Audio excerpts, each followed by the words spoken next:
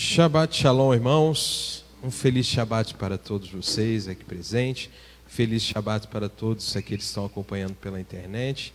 Vamos iniciar nessa manhã. Convido aos irmãos para abrirmos a nossa Bíblia em Salmo 91. Vamos fazer a leitura para que o Eterno possa falar ao nosso coração. Salmo 91. Aquele que habita no esconderijo do Altíssimo, à sombra do Onipotente descansará. Direi do Senhor, Ele é o meu refúgio, é a minha fortaleza, o meu Deus em quem eu confio. Certamente Ele te livrará do laço do passarinheiro e da peste perniciosa. Ele te cobrirá com suas penas e debaixo das suas asas estará seguro. A sua fidelidade será teu escudo protetor. Não temerás o terror noturno, nem a seta que voa de dia, nem a peste que anda na escuridão, nem a praga que destrói ao meio-dia. Mil cairão a teu lado e dez mil à tua direita, mas tu não serás atingido. Somente com os teus olhos olharás e verás a recompensa dos ímpios. Se fizeres do Senhor o teu refúgio e do Altíssimo a tua habitação. Nenhum mal te sucederá, nem praga alguma chegará à tua tenda, pois aos teus olhos dará ordem a teu respeito para te guardar em todos os. Eles te sustentarão nas suas mãos, para que não tropeces em alguma pedra. Pisará o leão e a cobra, pisotearás o grande leão e a serpente. Porque ele me ama, diz o Senhor. Eu o livrarei e o porei no alto retiro, pois conhece o meu nome. Ele me invocará e eu lhe responderei. Estarei com ele na angústia, e livrarei e o glorificarei. E lhe darei abundância de dias, e lhe mostrarei a minha salvação. Condicionante é estarmos debaixo das asas do Altíssimo. Possamos estar guardados embaixo das tuas asas, tendo intimidade com Ele, vivendo na Sua presença, buscando dia após dia, para que haja salvação para a nossa alma. Vamos todos juntos iniciarmos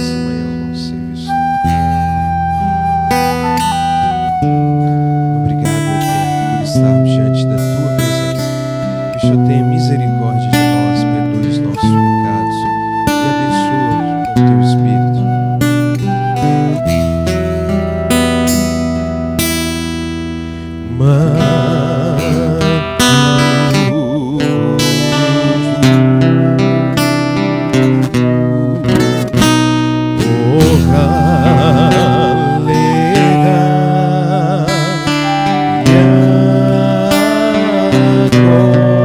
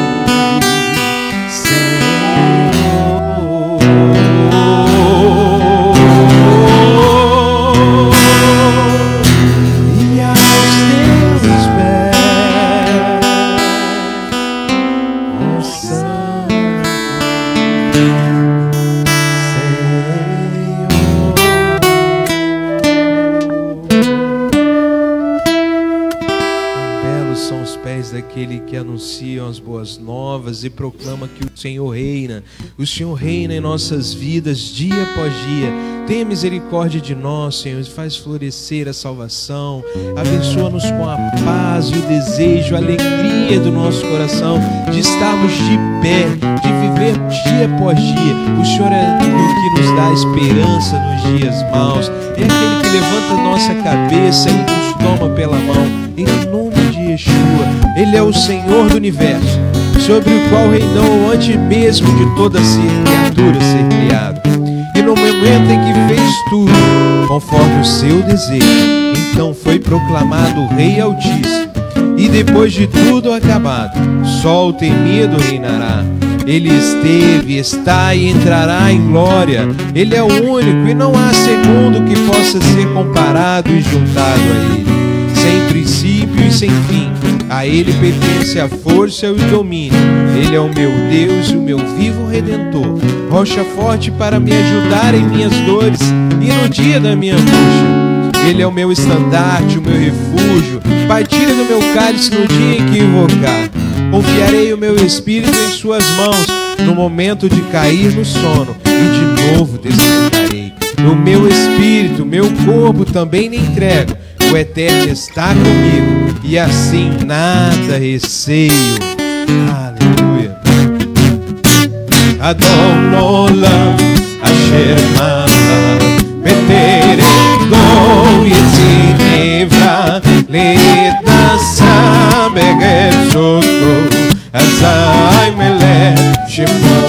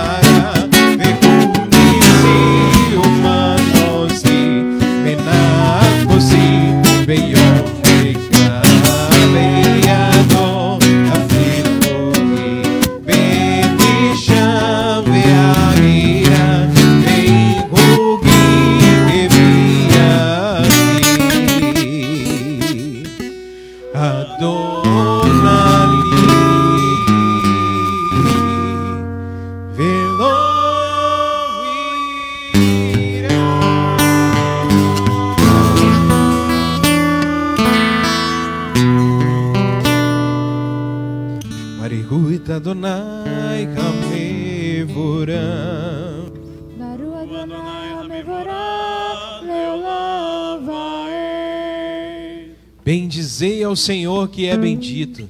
Bendito seja o Senhor que é bendito para todo sempre. Uma nova luz brilhará sobre Sião em breve, e todos desfrutaremos da sua luz. Bendito sejas tu, eterno, Criador da luz.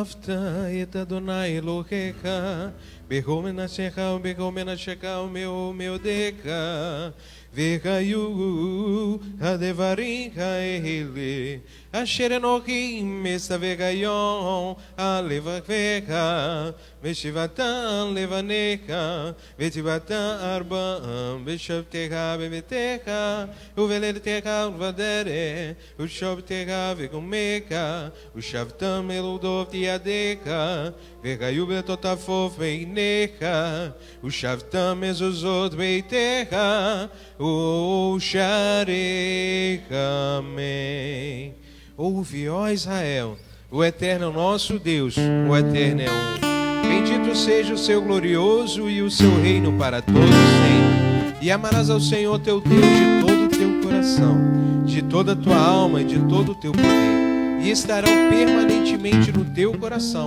essas palavras que hoje te recomendo. E as ensinarás diligentemente a teus filhos, e falarás a respeito das vezes quando estiveres assentado em quando estiveres andando pelo teu caminho, quando te deitares e quando te levantares, e as atarás como sinal na tua mão, e serão confrontais entre os teus olhos, e as escreverás nos umbrais da tua casa e nas tuas portas. Amém.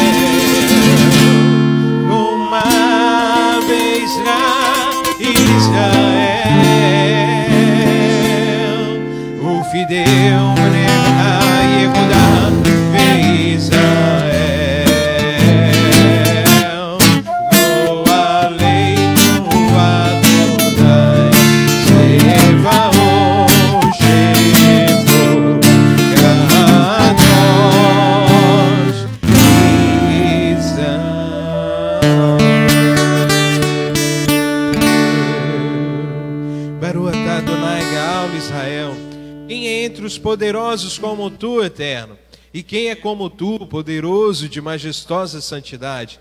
Temido em louvores e operando maravilhas, um novo cântico entoar os remidos, em louvor do teu grande nome. Nas margens do mar, unânimes louvaram e reconheceram o teu real poder, e disseram: O Eterno reinará para todo sempre. Ó rocha de Israel, levanta-te auxílio a Israel e redime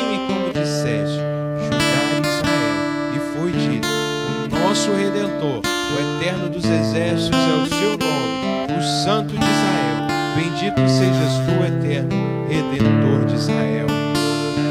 Agora nós vamos iniciar a parte da Midar em hebraico, é estar de pé. São as orações centrais desse serviço, que nós possamos engrandecer o nome do Eterno, lendo estas palavras e trazendo-as ao nosso coração, para que possa florescer algo bom nesta manhã é nós, para que possamos assim sair transformados através da tua palavra.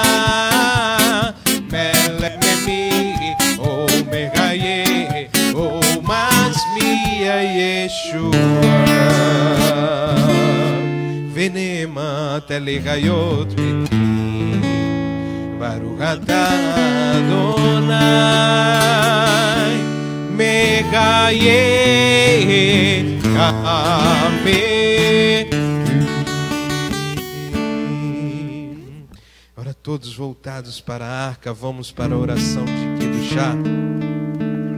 Instituída pelos homens da grande assembleia no período do segundo templo, trata da santidade de Adonai e possui várias passagens do livro dos profetas.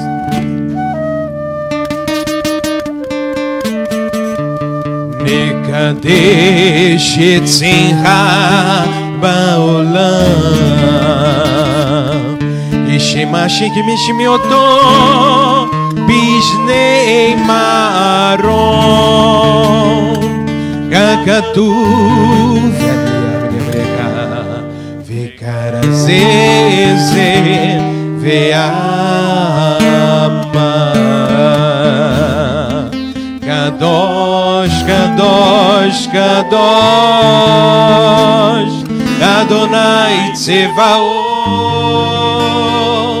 Adonai Tzevaot, Melot Koharetz, Kevodo.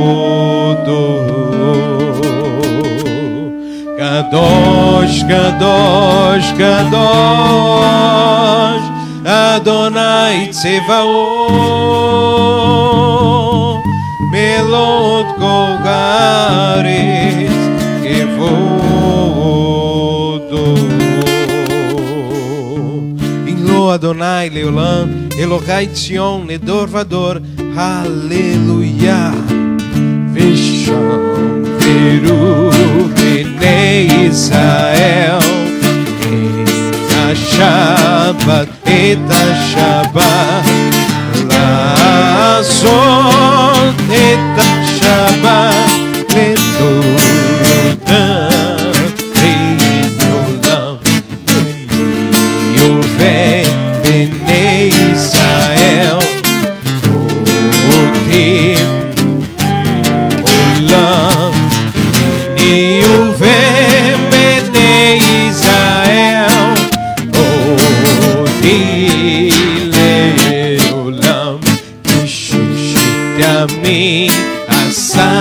אדוני את השמיים ואת הארץ וביום השבעים שבת וינפל. Todos juntos.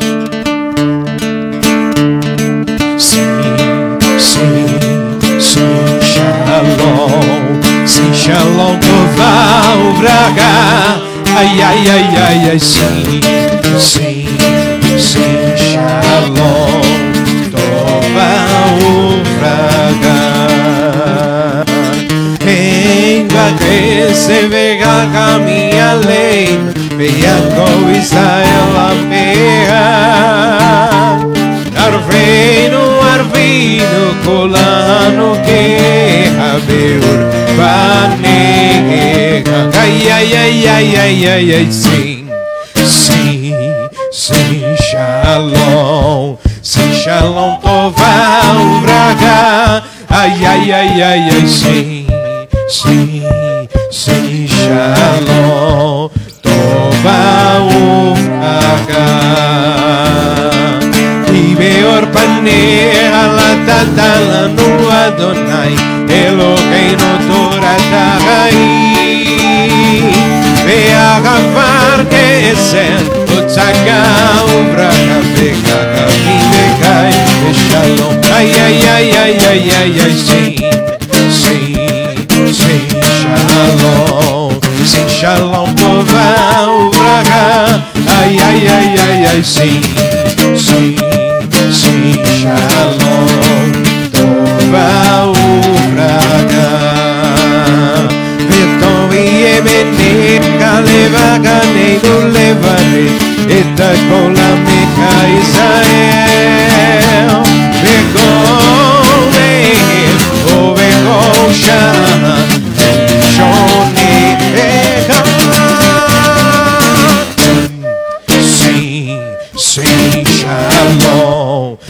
shalom, tova uvraga. Ai, ai, ai, ai, ai, sim, sim, sim, shalom, tova uvraga. Aleluia. Oh, se shalom biromar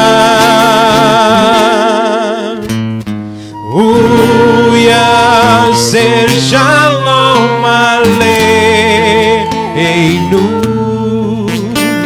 Veia com Israel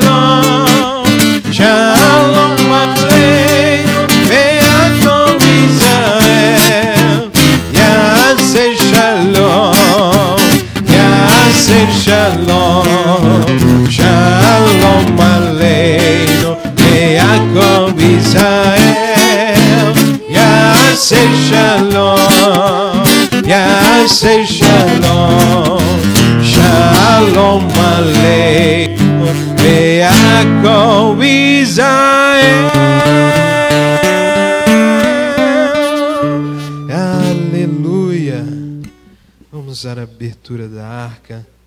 Que o Eterno esteja presente em nosso meio e que possa ter a liberdade de passear com teu Espírito em nossos corações. Não há semelhante a ti entre os deuses, Adonai, e não há feito como os teus. O teu reino é reino para toda a eternidade, e teu domínio se estende-se de geração a geração. O eterno reina, o eterno reinou, e o eterno reinará para todo sempre.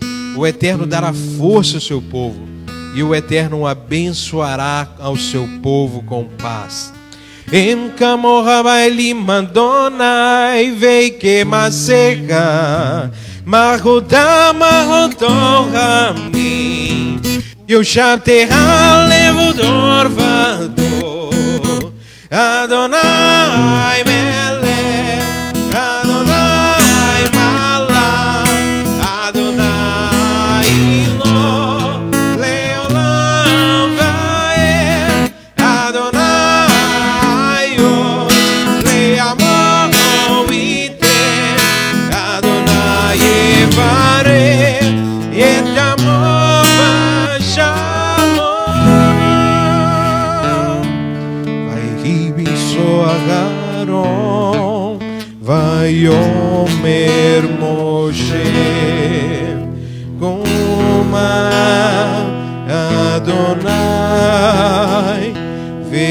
Καφούτσου όι βέχα Θεανούσου μη σανέχα μη πανέχα.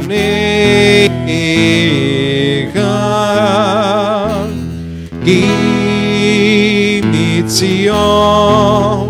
τε τώρα. Κι μη τσιόν de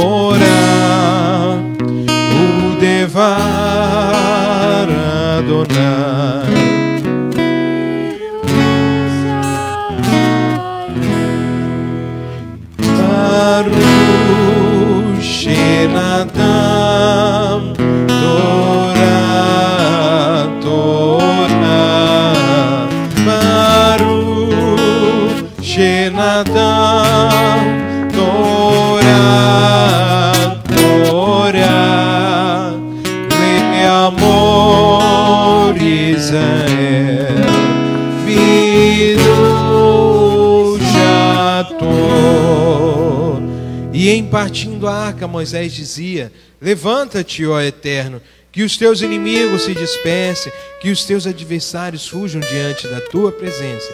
Pois que de Sião sairá a Torá, e a palavra do Eterno de Jerusalém. Bendito seja o que deu a Torá a seu povo Israel em sua santidade. Shema Israel, Adonai Eloheinu, Adonai Echad. Shema Israel, Adonai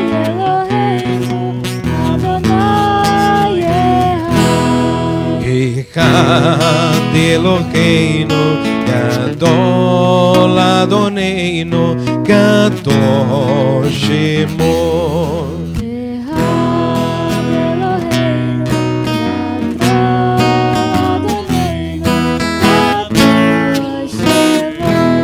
Gadul Adonai Mitim, um remomema Shemoyadav. Ouve, ó Israel, o eterno nosso Deus, o eterno é um.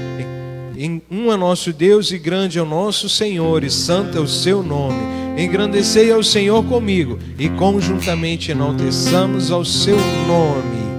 Leca, Adonai Hagedula Vega Vura Vega Tiferet Nefameza Vezado Kimbo Bashamai Bashamai Vearetz Lega Adonai Amalaha Lega Maselego Legos Omemu Adonai Eloheinu Esavahu Legadon Havla Kadoshu Omemu Adonai o Esavahu Legat que Ki Kadosh Adonai Eloheinu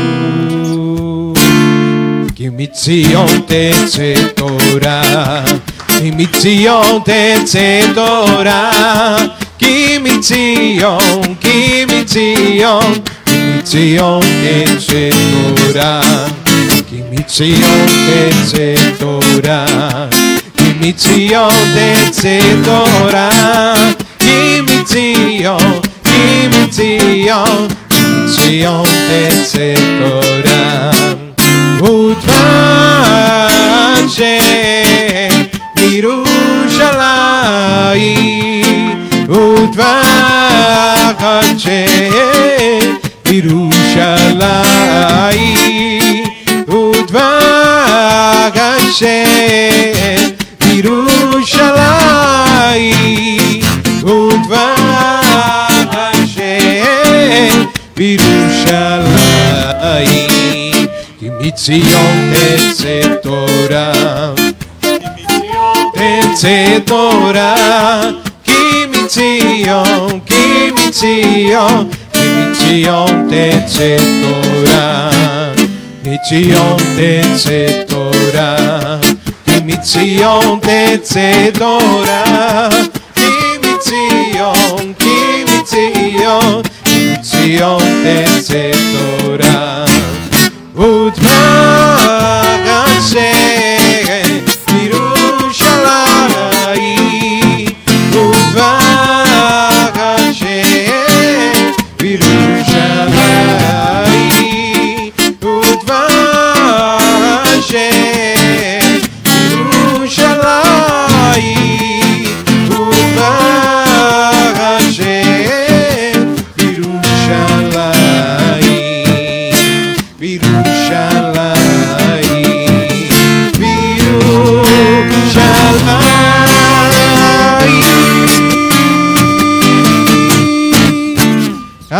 Aleluia! Que possamos ter um feliz Shabat no decorrer do dia, com a presença do Eterno. Nós vamos. Shabbat Shalom para todos. Muito bom estar aqui com vocês nessa manhã de Shabbat. Manhã gostosa, manhã com uma temperatura boa de estarmos juntos para estudarmos a Paraxá do Eterno, a sua Santa Torá. É um privilégio estarmos aqui, você que nos acompanha pela internet. Nós estamos na 32ª Paraxá, a Paraxá Berar, e nessa semana nós temos duas Parachotes, duas porções, né? Nós vamos encerrar hoje o livro de Vaikra, o livro de Levítico.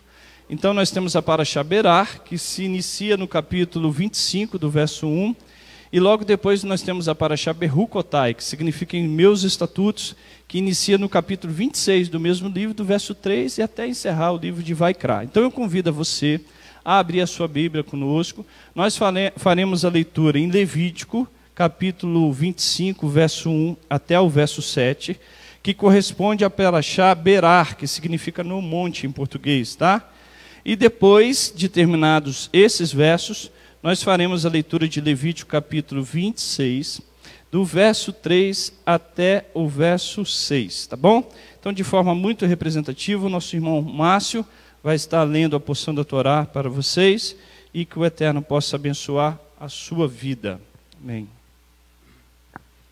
Disse, disse o Senhor a Moisés no monte Sinai: Fala aos filhos de Israel e dize-lhes e dize-lhes quando estiveres entrando na terra que eu vos dou, a terra guardará um sábado ao Senhor. Seis anos semearás a tua terra e seis anos potarás a tua vida e colherás os seus frutos. No sétimo ano, porém, a terra terá o seu sábado de descanso, um sábado ao Senhor. Não semearás o teu campo, nem podarás a tua vinda. O que há de nascer de si mesmo da tua seara, não podada não colherás. Ano do descanso sobre solene será para a terra. Os frutos da terra em descanso, porém, vos serás por alimento a ti, ao teu servo, à tua serva, ao teu empregado e ao estrangeiro que peregrina contigo, como também ao teu gado e aos teus animais que estão na tua terra. Todos os seus produtos servirão de alimento.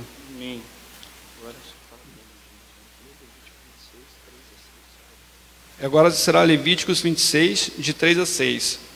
Se andardes nos meus estatutos e guardardes os meus mandamentos e os cumprirdes, eu vos a vossa chuva no seu tempo, e a terra será o seu produto, e as árvores do, seu cam do campo do seu fruto. E a debulha estenderá até a colheita das uvas, e a colheita das uvas até a época da plantação. Comereis o vosso pão, e a farta habitareis seguros na vossa terra. Dareis paz na terra, e dormireis seguros sem que ninguém vos perturbe. Fareis desaparecer da terra os animais nocivos, e pela vossa terra não passará a espada. Amém, amém. Muito bom. Eu não tenho dúvida que você sairá daqui muito abençoado hoje com Paraxá. Eu tenho plena convicção que o Eterno há de revelá-la no teu coração e que nós seremos grandemente abençoados. Eu farei de forma representativa, me, pergunto, eh, me perdoe por estar de costa.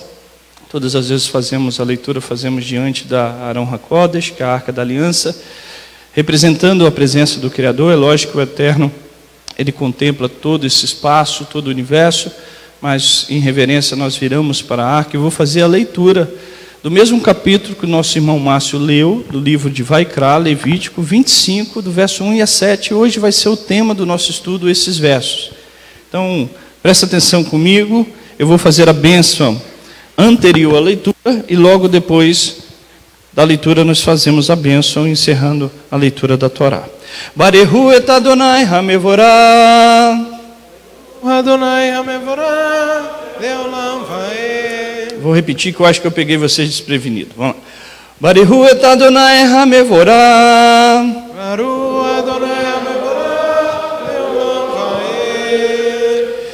Baruch Adonai Hamevorah Leolam Vaet Baruch Atar Adonai Eloheinu Melech HaOlam Asher Bahabanu Mikol Hami Venatan Lanu et Torato Baru Adonai, Notem HaTorah.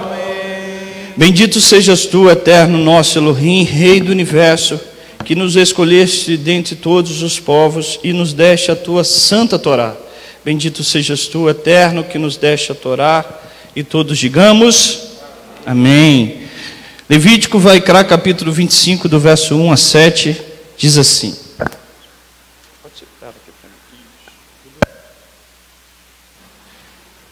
Só segura. Vaidaber Adonai El Moshe Berá Sinai Lemor Daber El Bene Israel Ve'amat Alehem Ki Ta'avu El Haaretz Asher Ani Noten Lahem Eh, Ve'ashavitah Haaretz Shabbat La Adonai Shesh Sheni Tizra Sadeha Ve'shesh Shani Tizmor Kameha Ve'asafta Tevuatah Uvashanah Hashivit Shabbat Shabbaton Ihie Laharet Shabbat Ladonai Sadeha Lotis Ra Vekameha Lotis Tismor Et Sefiar Ketisreha Lo Ki- Kitsor Veet Inevei Nezera é, não Nei- Nezer Nezera Nez Nezireha lo lo tiv- tivitsor Shenat Shabbaton e Haaretz Vehayatah Shabbat Haaretz Lahem Leorlah Leha Ole Avdeha Ve- Velah Vela Vela Vela Vele Amarta Velish Riha Uleto Shareha Hagarim Imar. Último verso, que é o verso 7. É...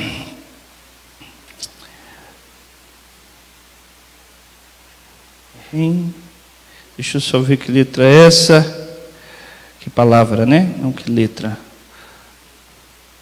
O o Mevar Ulehala Asher Baharetz. Ah, lembrei. Ulev Hameha, que quer dizer gado. Vel- Velaha- Velahayar Asher Behatzeha Tihier Kol Tevoatar le errou. Amém. Foi até o verso 7, que será para mantimento para todos nós. Nós vamos à bênção posterior à leitura e logo depois nós vamos à apresentação da Torá. Para deixar aberto, irmão. É, nós vamos à apresentação da Torá com nosso irmão Márcio. Baruch atah Adonai Eloheinu melech haolam, asher barra banu mikol ha'amim, venatan lanu et torato. Baruch atah Adonai noten ha-Torah. Amém.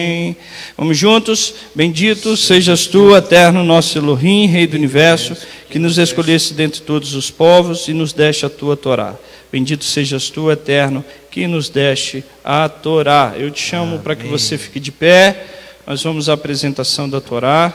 Eu fiz a bênção anterior, né? Baruch atah Adonai Eloheinu melech haolam, shenatan lanu Torah temet, verrei olam, natabet reino, Baruch atah Adonai noten ha-Torah. Bendito sejas tu, eterno nosso Deus, Rei do Universo, que nos deste a Torá da verdade e plantaste a vida eterna no meio de nós. Vamos à apresentação da Torá. Fica de pé, pode ir.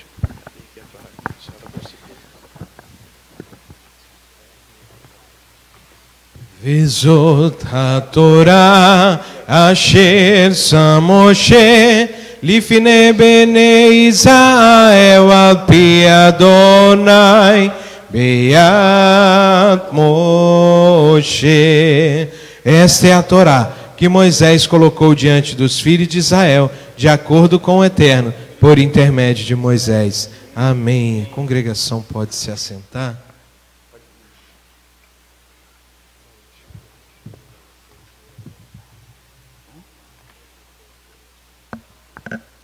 Muito bom, bom estar aqui mais uma vez com vocês. Esse é um Shabat é, diferente que nós já estamos habituados, né? Já tem três semanas que nós voltamos aqui com o nosso serviço de uma forma bem restrita. Hoje nós temos aqui no máximo 20 ou 30 pessoas, as 20 pessoas, para que a gente possa ter uma certa prevenção quanto a essa situação que nós estamos vivendo sanitária. Eu tenho certeza que o Eterno há de nos abençoar, né? A única coisa que eu peço a vocês, irmãos, é que vocês tenham todo zelo, todo, todo respeito à palavra de Hashem, que você a, a observe no seu dia a dia e que você que tem uma boa saúde não deixe de estar aqui. Essa situação não é uma situação que nós vamos resolver de um dia para o outro, não vai ser de um mês para o outro, né? E a gente precisa aprender a se adaptar a essa situação de forma muito rigorosa com higiene, é o que nós estamos fazendo aqui. Todo mundo sentado de uma distância da cadeira, todo mundo com máscara, todo mundo usando o álcool aí nas mãos, pessoas responsáveis para fazer a limpeza. Então, somente aquelas pessoas que não estão fazendo é, uso da palavra, que estão sem máscara, mas todos vocês. Então, eu peço ao Eterno para abençoar grandemente a vida de cada um, proteger a família, mas não esqueça da oração, não esqueça de buscar o Senhor, da palavra, de orar em família, de zelar pelo aquilo que é espiritual, e nós vamos ver isso dentro da nossa paraxá, como é importante, tá bom? Pode ficar aqui de frente. Eu queria orar aqui. Quer falar alguma coisa, meu irmão? Eu queria orar aqui ao Eterno para pedir para abençoar as nossas crianças, que nós sempre oramos por elas. Pedir ao Eterno para abençoar os nossos idosos, os nossos enfermos, você que está nos acompanhando na internet. Que a paz do Senhor possa inundar o teu ser, possa trazer a cura, a tua restauração, a tua força, as listas de oração, a lista de oração que nós temos. Não deixa de orar um pelo outro, irmãos. A palavra do Eterno diz que a oração do justo pode muito com seus efeitos, longe de nós nos considerarmos justos, mas fiel, justo juiz é aquele que nos, a, nos abençoa e que nos fez justos na sua presença. Então aqui não é mérito nosso, mas é dom de Hashem, é a sua graça que nos deu a sua justificação e nós clamamos sim a Ele para conceder a tua misericórdia. Quero pedir para que o Eterno abençoe a humanidade, que livre essa humanidade dessa pandemia, que traga cura através dos cientistas, dos médicos, seja quem for usado pelo Eterno, que o Eterno, que é o dono da ciência de todas as coisas, possa trazer cura à humanidade. Não cabe aqui a cada um de nós ficarmos colocando os nossos juízos, as nossas é, considerações sobre aquilo que nós cremos dessa situação, mas eu creio que o Eterno é poderoso para nos ouvir. Então, o Eter- o Eduardo vai fazer a bênção para as crianças. Você faz a bênção em hebraico, Dudu? Pode ser? Fazendo a bênção, abençoando nossas crianças, e depois nós vamos orar por elas e pelos nossos idosos. Ivareha. Ivarechecha Ivareha. Adonai Adonai. Veishmereka Vishmereha. Kenyiga Tsom Yair Yair Adonai Adonai. Panavelecha Panaveleha. Veihuneka Veihuneka. Kenyiga Tsom Isadonai Isadonai. Panavelecha Panavelecha. Veyasenlecha Que o Eterno os abençoe e os guarde, que o Eterno assim faça seja. resplandecer o seu rosto sobre Assim ti e tenha misericórdia de ti. Que o. Eterno sobre ti levante o teu rosto e vos dê a paz, o shalom, em nome de Yeshua, nosso. Messias. Eterno, nós queremos colocar diante de Ti as nossas vidas, as nossas famílias, em especial colocar diante da Tua proteção os, teu, os Teus filhos, as nossas crianças, que de fato, antes de pertencer a nós, pertencem ao Senhor nosso Criador. E nós cremos, ó Pai, que Tu és a proteção de nossos filhos e filhas, e nós aqui queremos depositar diante de Ti a esperança e a confiança que nós temos que não existe um local melhor para estar do que na tua presença. Que o Senhor dê ordem aos teus anjos para guardá-las, para protegê-las. Que nesse momento de pandemia, Senhor, o Senhor dê ordem aos teus anjos para livrá-las de qualquer praga, de qualquer eh, infecção, de qualquer vírus e que o teu nome venha a ser exaltado sobre a vida dessas crianças. Que ao crescerem, ela tenha amor pelo Senhor, amor pela tua palavra, de maneira que elas cresçam, Senhor, com um coração sábio, com um coração temente a ti, e que todo momento, Pai, elas não venham desviar nem para a esquerda e nem para a direita, mas que a semente da tua palavra possa germinar nos seus corações, e assim essas crianças venham ser homens virtuosos, mulheres virtuosas na tua presença, para que o teu nome venha a ser exaltado na vida delas. Derrama cada bênção, Senhor, sobre a vida dessas crianças, que o Senhor possa prosperá-las nos seus estudos, no seu crescimento, na sua adolescência, na sua juventude, que tem tanto este mundo para oferecer a elas, mas que elas se apeguem ao Senhor e que elas possam, Pai, temer o Senhor como o princípio de toda sabedoria nas suas vidas, de maneira que elas conduzam ah, o seu caminhar na tua palavra e no teu caminho. Por isso nós pedimos a tua bênção e a tua paz. Lembra dos nossos enfermos, traga cura sobre cada um deles. Eu não quero aqui citar nome para não ser injusto com os demais, mas eu peço a ti, ó Pai, ajude a cada um que está com câncer. Senhor, que está talvez com coronavírus, que está, Senhor, com alguma enfermidade que carece da tua intervenção, com AVC, Senhor, que está com necessidade de restaurar o teu corpo físico. Senhor, nós pedimos a tua intervenção, a tua misericórdia com os nossos idosos, pessoas que estão na UTI, pessoas que estão sem esperança pela medicina, mas nós sabemos que a nossa esperança está em Ti e nós confiamos no Senhor. Mas mesmo que o Senhor não atenda a nossa oração, ó Pai, nós diremos Baruch Hashem, exaltado e seja santificado o teu nome em todo momento. E se porventura o Senhor nos chamar e venhamos partir dessa vida, nós exaltaremos o teu nome, porque o Senhor nos prometeu que viveremos a eternidade ao teu lado, assim como tu és eterno. É essa imagem, é essa semelhança que nós temos contigo de viver a eternidade ao teu lado.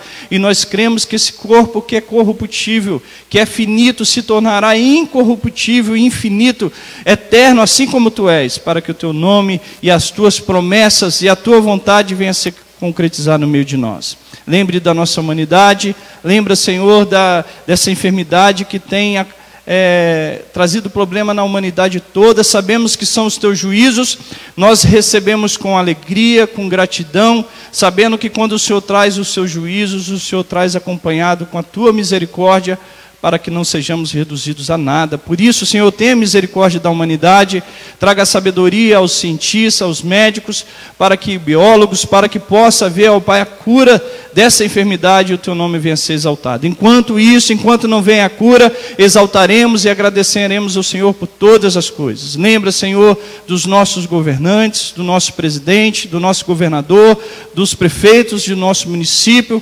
Seja o teu nome exaltado, a tua bênção sobre eles, para que eles tomem as melhores decisões e assim, ó Pai, eles venham ajudar ao menos o, o mais carente, aqueles que são menos favorecidos pela sociedade e que a tua misericórdia esteja sobre a vida deles. Lembra da nossa responsabilidade que temos de ajudar o pobre, o necessitado e a viúva.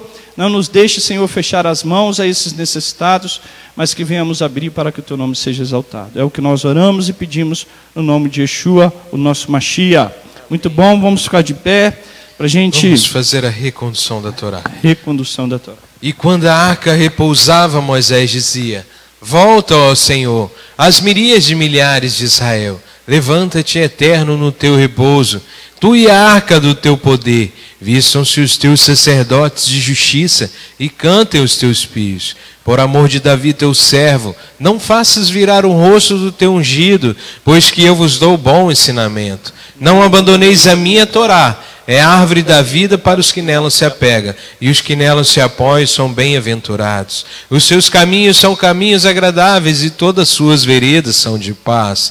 Faça-nos voltar a ti, Senhor, e voltaremos. Renova os nossos dias, como nos dias da antiguidade. Etzaringi,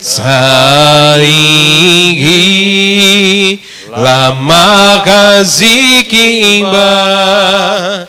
Vetonreia meusha derareia da renoa vergonetivotea shalom Hashivenuku Adonai Elega Venashuva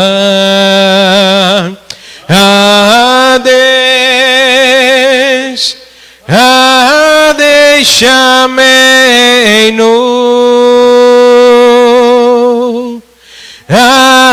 Deixa-me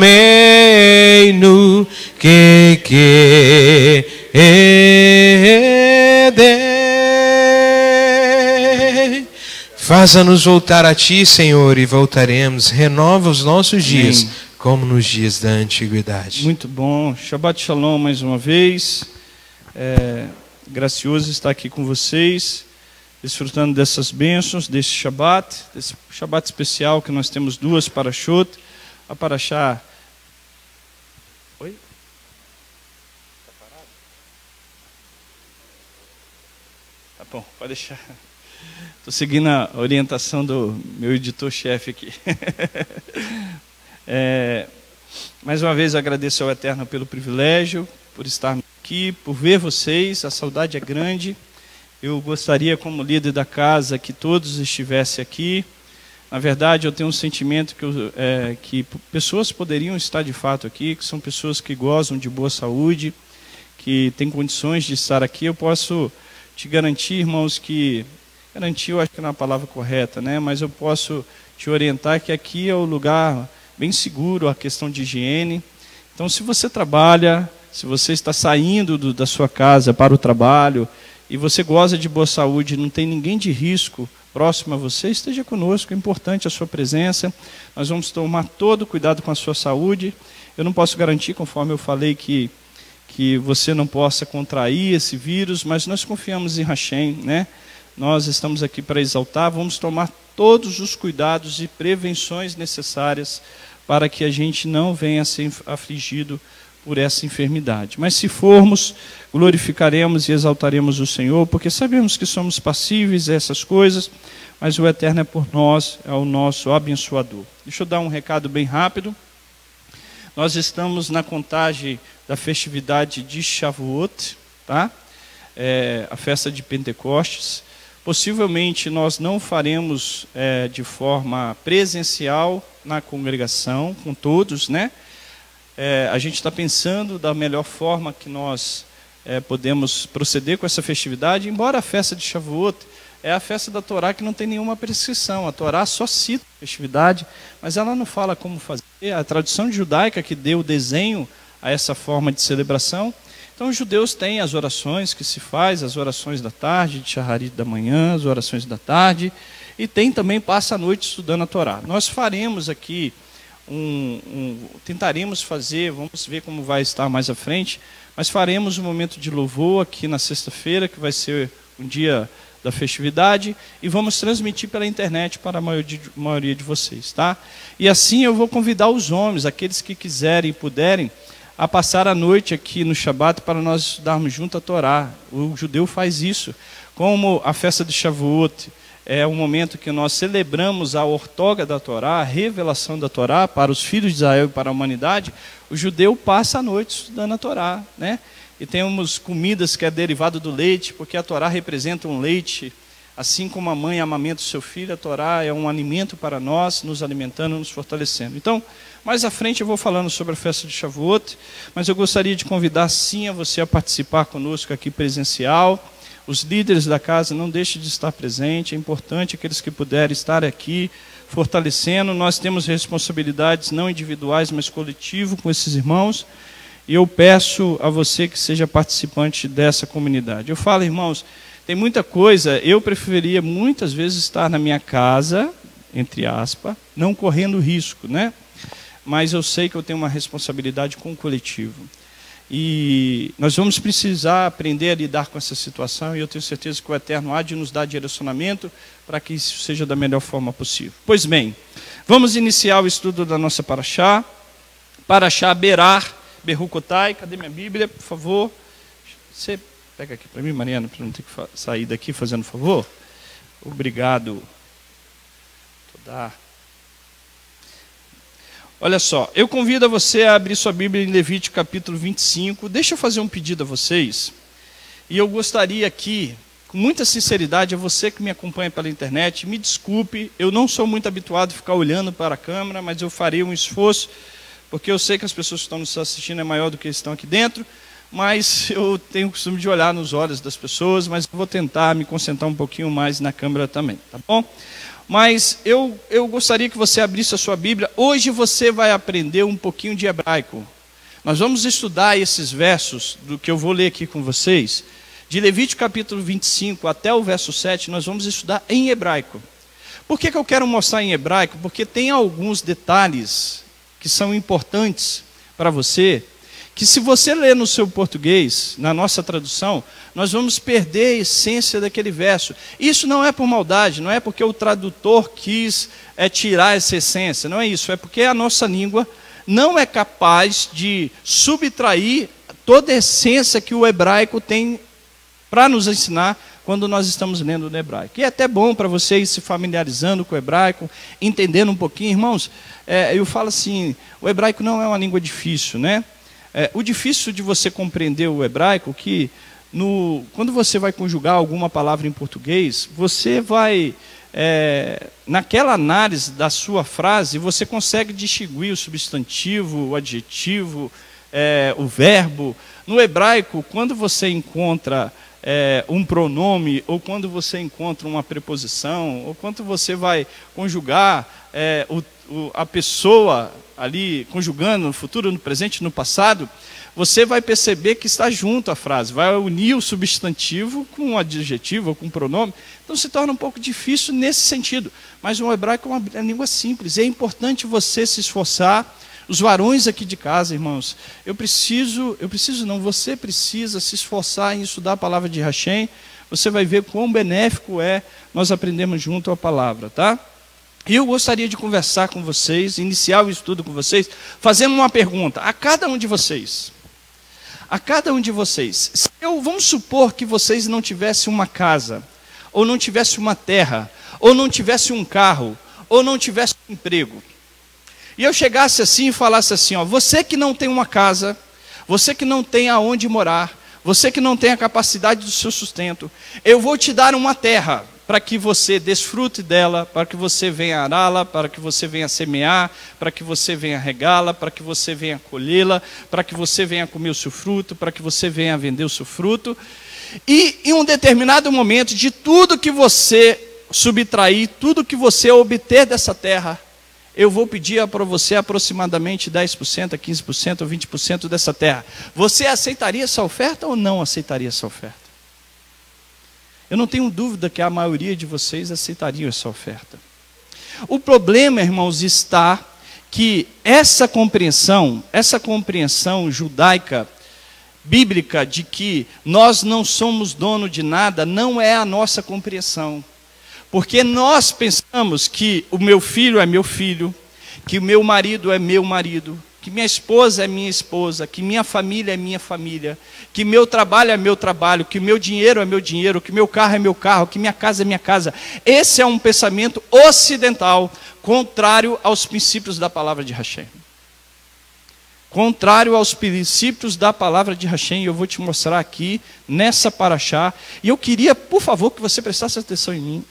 Depois, preste atenção, porque eu queria incentivar os homens da casa a aprenderem a estudar a Torá aprender a ter o compromisso com Hashem de estar aqui, de ter o desejo de louvar e enaltecer o Senhor. Irmãos, são lindas as orações que nós pronunciamos, exaltando ao Criador, falando que Ele é o Deus da cura, que Ele é o Deus da restauração, que Ele é o Deus que levanta o homem, que Ele é o Deus que traz vida aos mortos. Isso é profecia, isso é promessa, isso é esperança do dia de amanhã de sabermos que esse corpo finito que nós temos, nós teremos uma eternidade ao lado do, do, Criador.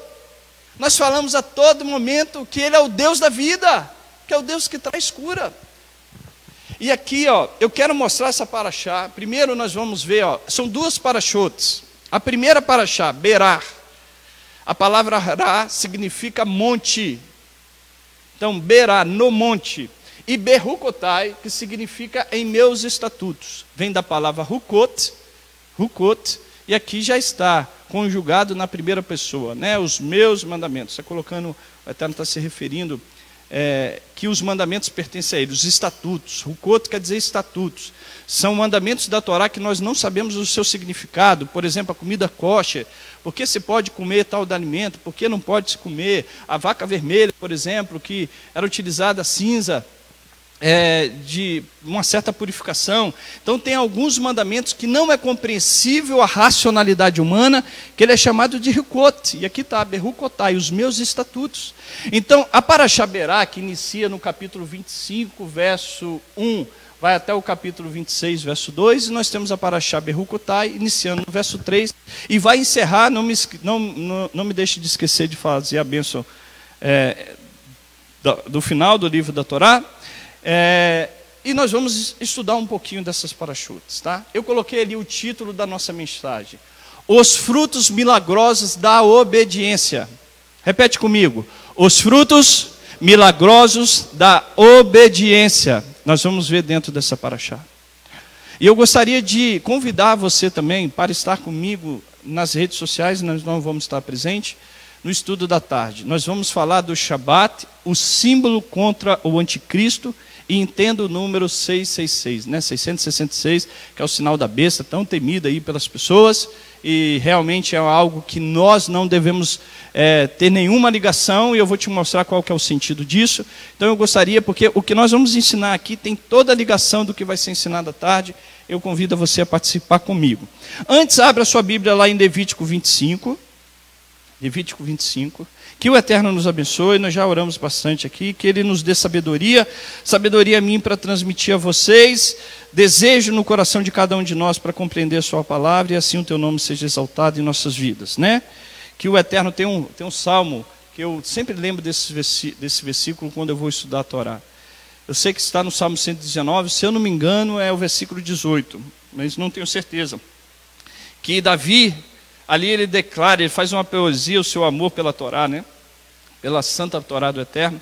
Chega lá no verso 18 do Salmo 119, ele fala assim: Senhor, desvenda os meus olhos para que eu veja as maravilhas da tua Torá. Que os nossos olhos sejam desvendados para que vejamos as maravilhas da palavra do Eterno, do Evangelho, do, dos profetas, as revelações que todos os dias nós podemos desfrutar, porque é uma fonte incansável e insaciável a palavra do Eterno. Então, Levítico 26, 25, Levítico 25, verso 1 até o 7. Eu vou repetir essa leitura com vocês, diz assim, ó: Disse o Senhor a Moisés, no monte Sinai: Fala aos filhos de Israel e diga-lhes: quando tiverdes entrado na terra que eu vos dou, a terra guardará um shabat ao Senhor. Seis anos semearás a tua terra, seis anos podarás a tua vinha e colherás o teu fruto. No sétimo ano, porém, a terra o seu, eh, terá o teu sábado de descanso. Um Shabat ao Senhor: Não semearás o teu campo, nem podarás a tua vinha. O que nascer de si mesmo da tua seara, não podada, não colherás. Ano de descanso, solene será a terra. Os frutos da terra em descanso, porém, vos será para alimento a ti, a teu servo, a tua serva, ao teu empregado, ao teu estrangeiro que peregrina contigo, como também ao teu gado e aos animais que estão na tua terra. Todos os teus produtos servirão de alimento. Eu perguntei a vocês que se eu desse uma terra a vocês, vocês aceitariam essa proposta se eu pedisse uma parte disso, porque de fato essa terra pertence a quem? Ao Francisco não ao donatário, pertence ao Francisco, não aquele que recebeu a doação, mas pertence ao Francisco. Para que a gente possa ensinar, e eu quero aqui mostrar a importância dessa paraxá na sua vida. Você lembra que o nosso irmão Roberto comentou que a Torá ela inicia geralmente assim, da B, da B Adonai El Moshe Lemor, falou o Eterno a Moisés dizendo, ou ela fala, Save Adonai El Moshe Lemor, ordenou o Eterno a Moisés é, dizendo, é, usa muito o verbo emor também, disse o Eterno a Moisés e aos filhos de Israel. Quando a Torá modifica alguma característica que não é comum, ela quer enfatizar um ponto que é muito importante, que é extremamente relevante, Jusmar. Na mente dela, no ensinamento da Torá, estes, esses, essa mudança quer mostrar para você, ó, alguma coisa foi modificada. E aqui, ó, quando você já começa a olhar, o primeiro verso está ali, ó, presta atenção em mim. Da B, v da B, Adonai, El Moshe, Berá, Sinai, Lemor. Berá, Sinai eu coloquei ali em laranja para que você possa identificar. Então, o Eterno modificou a característica que, eles estava, que ele costuma se revelar na Torá para Moshe, e Moshe é, transcreve aquilo que ele aprendeu do Eterno, aonde ele aprendeu, e aqui está citando que ele aprendeu essas mitzvot, esses ensinamentos que vão ser tratados tanto na Paraxá Berrucotai quanto na Paraxá Berá, no Monte Sinai, na revelação do Monte Sinai. Porque muitos ensinamentos que Moisés recebeu, as pessoas têm a impressão, Jorge, que quando Moisés subiu lá no Monte Sinai, que lá ele recebeu toda a Torá. Não, ele recebeu, ele recebeu os dez dizeres, as dez palavras de Hashem, que são os dez mandamentos conhecidos aí, as, os pronunciamentos do Eterno, estabelecendo para a humanidade, e ele recebeu alguns mandamentos. E aqui a Torá está querendo enfatizar que estes mandamentos que nós vamos tratar, o ano, nós vamos aprender daqui a pouco, é, so, é, sobre o que, foi, vai ser ensinado aqui, foi ensinado, revelado no Monte Sinai. Berá Sinai. No Monte Sinai. Então, foi de extrema relevância. É como se eu tivesse falado assim, Mar, Márcio, eu tenho algo para falar com você, vem até a minha casa. Aí o Márcio, Francisco, o que, é que você quer tratar comigo? Eu falei, Márcio, é muita coisa. E eu não vou ter tempo, eu não quero compartilhar com você tudo na minha presença. E durante um tempo eu vou revelando para você o que eu quero conversar, mas vem aqui.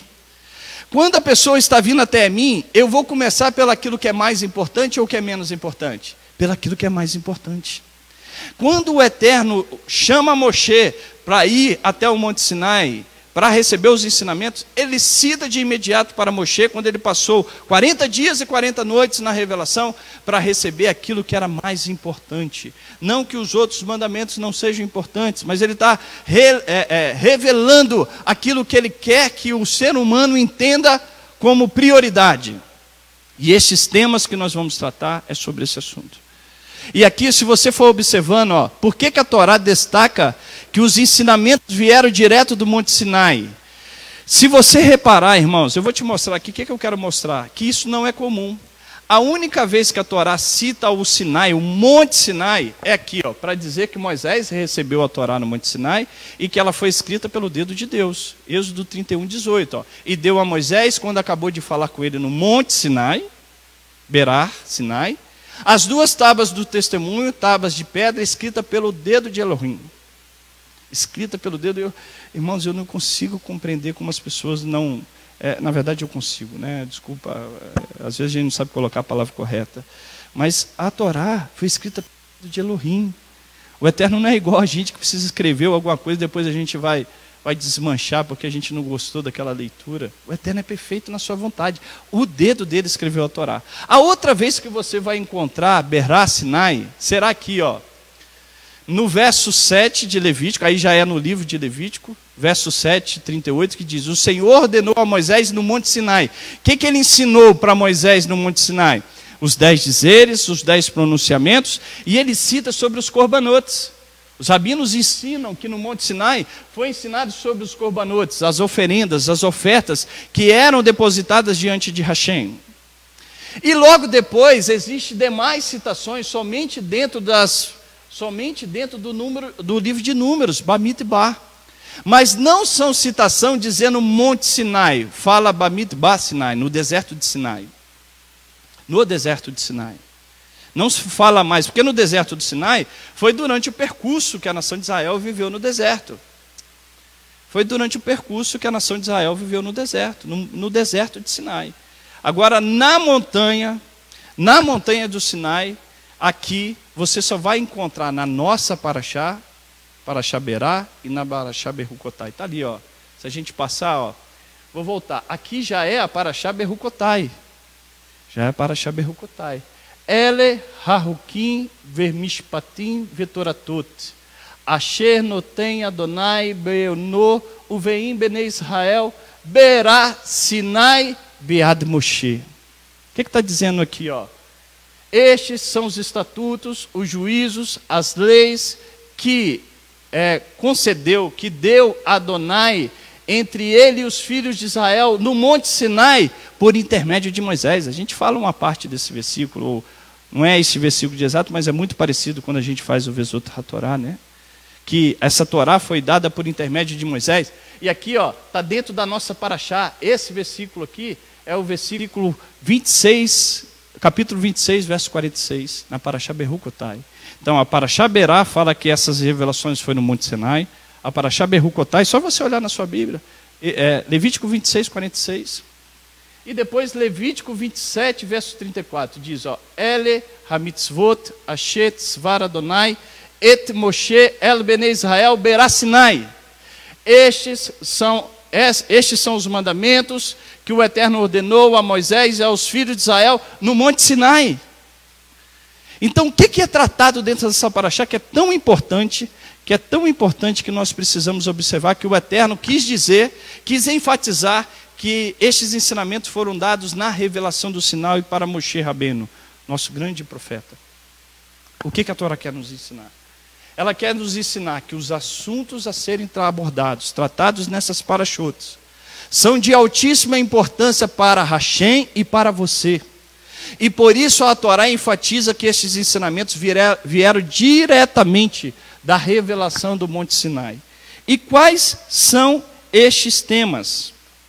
Quais são estes temas? Vamos, eu só vou é, é, é, desenhá-los aqui contigo, tá? Só vou apresentá-los. Quais são os temas? Nós vamos entrar em um de forma mais profunda. Mas ele trata de vários temas, né? Mas quais são os, 30, os temas dentro dessa parachuta? Primeiro, fala sobre o ano de Shemitah. Quem sabe o que é o ano de Shemitah? Todos vocês. Quem, quem não sabe?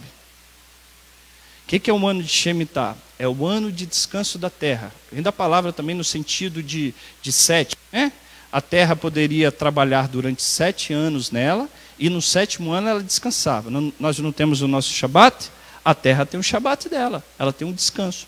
É o ano de Shemitah, um ano de descanso da terra. Irmãos, isso é tão profundo e verdadeiro que hoje os biólogos, cientistas comprovam que é importante a terra ter um descanso. Quem já teve terra aqui, ou já já viveu de, de, de, de, de plantar, semear e colher, você vai ver que é necessário a terra ter um período de descanso. Então a Torá, ela não, ela, ela é vida, ela é verdade, ela faz parte da nossa realidade, né? Ela trata do ano do Yovel, todos sabem o que é o ano do Yovel, o ano do jubileu. Irmãos, vocês não têm noção como o ano de Shemitah e Yovel está ligado a uma Shia, a Yeshua. Se vocês lerem o Isaías capítulo, o profeta é, Isaías capítulo 61, você vai ver como que o profeta cita a relação entre o Machia e entre o ano de Yovel, que é o ano do jubileu. O que, que significava o ano do jubileu? não é igual à terra, ela pertence exclusivamente a Hashem. E o Eterno deu aos filhos de Israel, às tribos de Israel. Se por acaso alguém que recebeu uma porção ficasse porventura sem recurso e precisasse vender a terra e os seus bens que nela estavam, quando chegava o ano do jubileu, voltava-se novamente para o dono original da terra, que foi dado lá em Yehoshua, em Josué. O dono original da terra. E isso aqui é tão profético que fala do Machia quando ele retornar, que ele dará a terra novamente para os donos originais, o povo judeu, que está pa- espalhado nos quatro cantos da terra. Quando havia uma pessoa que se, um judeu que tinha se tornado escravo, por ter roubado e não tinha condições de pagar, ele se tornava escravo daquela pessoa, por ter ficado pobre e ele ficou como penhor de alguma situação, quando chegava o ano do jubileu, essa pessoa era livre. Olha como que era profundo. Aqui fala sobre ajuda aos pobres ou oprimidos, fazer de sedacá, e eu vou enfatizar com vocês o que é de sedacá. Irmãos, não pense que você é dono do seu recurso. Eu vou te ensinar isso aqui. Eu vou te mostrar a mentalidade judaica sobre esse tema. Pobres e oprimidos, sedacá e atos de bondade, fornecendo-lhes meio para sair da pobreza. Este é, é- é um dos mandamentos contido nessa paraxá. Aqui já entra sobre a proibição de receber e pagar qualquer juros e empréstimos feito a outros judeus, irmãos para irmãos, tá? A proibição da idolatria, as mitzvot de guardar os shabatot. Shabatot são as festividades, cada festa é um shabat, festa de Pêssego, shabat, Shavuot, Sukkot, Yom Kippur, Yom Teruah. Todos esses dias são shabatot, são shabat, de descanso. Shabat no hebraico é descansar, é como se eu fosse escrever descansar, você vai ver isso depois. Reverenciar os locais santificados por Deus, o santuário é uma mitzvah, por isso que o judeu tem tanta reverência sobre o Beit Hamikdash, o templo, e sobre as sinagogas, porque é uma mitzvah, é uma mitzvah você reverenciar. Reverenciar não é idolatrar, é você respeitar, é você dar honra. Aí já entra na Parashá Berrucotai, bênçãos e recompensas por seguir diligentemente a Torá e por cumprir as mitzvot, as tragédias que acontecerão ao povo judeu por eles, povo de Israel, terem abandonado a observância da Torá e as mitzvot, a santificação dos presentes voluntários ao templo, eram os votos feitos, onde a pessoa voluntariamente dedicava alguma coisa a Hashem, e ali o livro de Vaikra, Levítico, conclui uma breve discussão sobre os dízimos, mas Sheni, o segundo dízimo que era levado em Jerusalém. Resumindo aqui, irmãos, bem para a gente finalizar, são assuntos muito importantes. Ajuda ao próximo, ao necessitado, você libertar o escravo, você devolver a terra original, você procura, procurar, correr atrás de uma pessoa que está passando necessidade dentro do teu meio. A Torá fala isso, dentro dos filhos de Israel. Você procurar, quando eu ligo lá para você, você está bem? Não é porque eu sou bonzinho, não, é porque a Torá está me ensinando a fazer isso. Você precisa fazer isso. Você está bem, Francisco? Eu não recebo um, poucas vezes, tá? Vou dizer que eu não recebo. Você está bem, Francisco? Está precisando de alguma ajuda? Não financeira, mas espiritual? De oração? Tem irmãos que mandam sim, pergunta se eu estou bem. Isso é importante, você precisa procurar teu irmão. Ah, Vinícius, você está bem espiritualmente? Vinícius, você está precisando de ajuda? Vinícius, você está precisando de tal ajuda? Se você estiver precisando, conte comigo, eu sou seu irmão. É procurar, porque geralmente o Eterno, na sua santa sabedoria, ele sabe que o pobre, o necessitado, ele terá o quê? Vergonha de chegar até você e falar assim: Ô oh, Francisco, eu preciso de uma ajuda. Então você vai procurar o necessitado, você vai observar, e nós somos capazes de fazer isso. E aqui, ó, eu quero começar. Entenderam que é, é, esses ensinamentos são super importantes para você? E aqui, varão, varões, varão e varões, você que está me ouvindo pela internet, eu quero começar essa paraxá pela paraxá Berrucotai. Aqui está escrito o primeiro verso. Abre a sua Bíblia lá em Levítico, capítulo 26. Lê para mim, Sandro. Dê um microfone para o Sandro ali. Que de vez em quando eu vou sair, mas vou voltar, irmão Alberto. Levítico 26. Não tem problema não, tá ótimo. Levítico 26, verso. Levítico 26. Verso, verso, verso 3 só, tá? 26, Verso 3. 3. É. Se viverem de acordo com os meus regulamentos, observarem e obedecerem as minhas mitzvot, darei a vocês a chuva necessária na estação, A terra dará seu produto e as árvores no campo Tá frutificarão. bom, só, só três, só três, Ah, é? vai lá, repete três. Se viverem de acordo com os meus regulamentos, observarem e obedecerem às minhas mitzvot. Acabou aí. Aqui eu quero parar com vocês. Depois de- dessa voz do William Bonner, fica até sem graça. Cid Moreira, vamos falar, né? Fica até sem graça você falar depois. Você vai rindo. Mas deixa com você, você vai ler alguns outros textos comigo, meu irmão. Mas aqui diz assim, ó: se andardes nos meus estatutos e guardares os meus mandamentos e cumpridos. Quando você lê isso aqui, que que o que que dá para você o entendimento? Eu queria ouvir de vocês, o que, que dá de compreensão? Tipo assim, se guardardes o meu estatuto. Você sabe o que, que é estatuto? O que, que é mandamento? A, a Torá está diferenciando uma coisa da outra. Ela está usando verbos diferentes. Ela está falando se andar, se guardardes. O judeu não olha isso aqui, um rabino, um professor, ou um, estu, um estu- estudante da Torá. Ele não olha isso aqui e fala assim, ah, tudo é um, um caminhão de japonês, tudo é a mesma coisa. Não, ele vai chegar e vai olhar isso aqui e falar assim, tem algum ensinamento aqui que é totalmente diferente. Olha que interessante você ler no hebraico, eu vou compartilhar aqui com vocês. Diz assim o texto, ó, em Berrucotai, é, é, Terlu veet mitzvotai, tis merur, vasitem otam. Eu vou traduzir para você. Diz assim, ó, isso aqui é apenas uma conjunção. Se berrucotai, os meus, man- os meus estatutos, você lembra que eu falei aqui? Rukot são estatutos que você não sabe o significado. Então o Eterno já começa assim, eu até falei isso no pão diário. O primeiro sentido que ele dá na palavra Berrucotai é se nos meus estatutos, chamando ao judeu, porque quando você guarda o Shabat, você vai falar assim: ah, poxa, eu vou descansar do Shabat, eu vou receber a bênção do Shabat, eu vou dar o dízimo, porque o dízimo eu sei que eu vou receber bênção. As pessoas geralmente associam a guarda de um mandamento com o benefício que ela vai ter.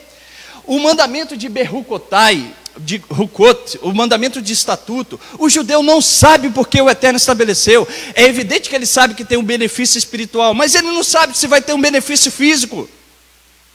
Ele guarda porque ele ama Hashem, ele guarda porque foi Hashem que disse, ele guarda porque ele sabe que o Criador é, o, é, é- é a verdade de todas as coisas, que a sua palavra é perfeita, e ele escuta e fala assim: o meu impulso de andar não é pelos benefícios que terei, mas é porque o Senhor me ordenou. É o primeiro sentido.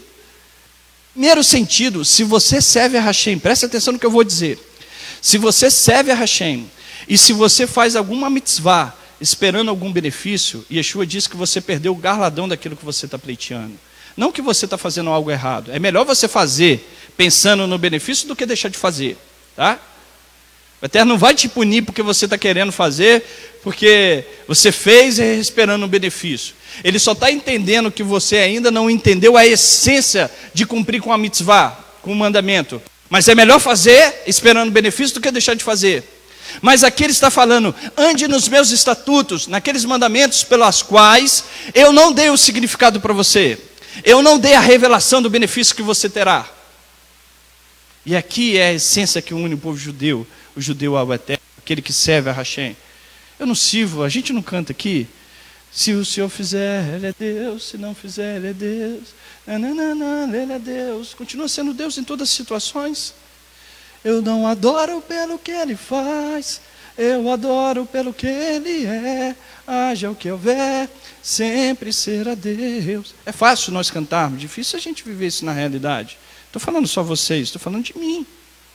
É fácil nós cantarmos. Será que nós estamos preparados mesmo? Será que nós servimos a Hashem pelaquilo que Ele é, faz ou pelaquilo que Ele é? Essa é a pergunta. E é o que este mandamento está iniciando, provocando em você. Provocando no sentido, haja, tenha uma vida, tenha um crescimento, tenha um andar, onde você aprenda a ter esse amor que está descrito em 1 Coríntios capítulo 13. O amor tudo suporta, tudo crê, tudo espera. O amor não tem seu próprio interesse. É igual de uma mãe. Os sabinos falam, o amor nosso para Hashem tem que ser, é bem semelhante. É lógico que o Eterno é muito superior a isso, mas é bem semelhante a de uma mãe para um filho. A mãe continua amando o filho, independente de corresponder o amor, não. Ter correspondido o amor, não. E aqui, ó, vamos continuar. Em Berrucotai, eu, vou, eu só traduzir, ó. Se nos meus mandamentos andares e nos ah, meus estatutos andares e nos meus mandamentos tismerur é, guardades, quer guardar, viesse tem otam. É, é como que se esse mandamento, como que eu posso traduzir essa palavra?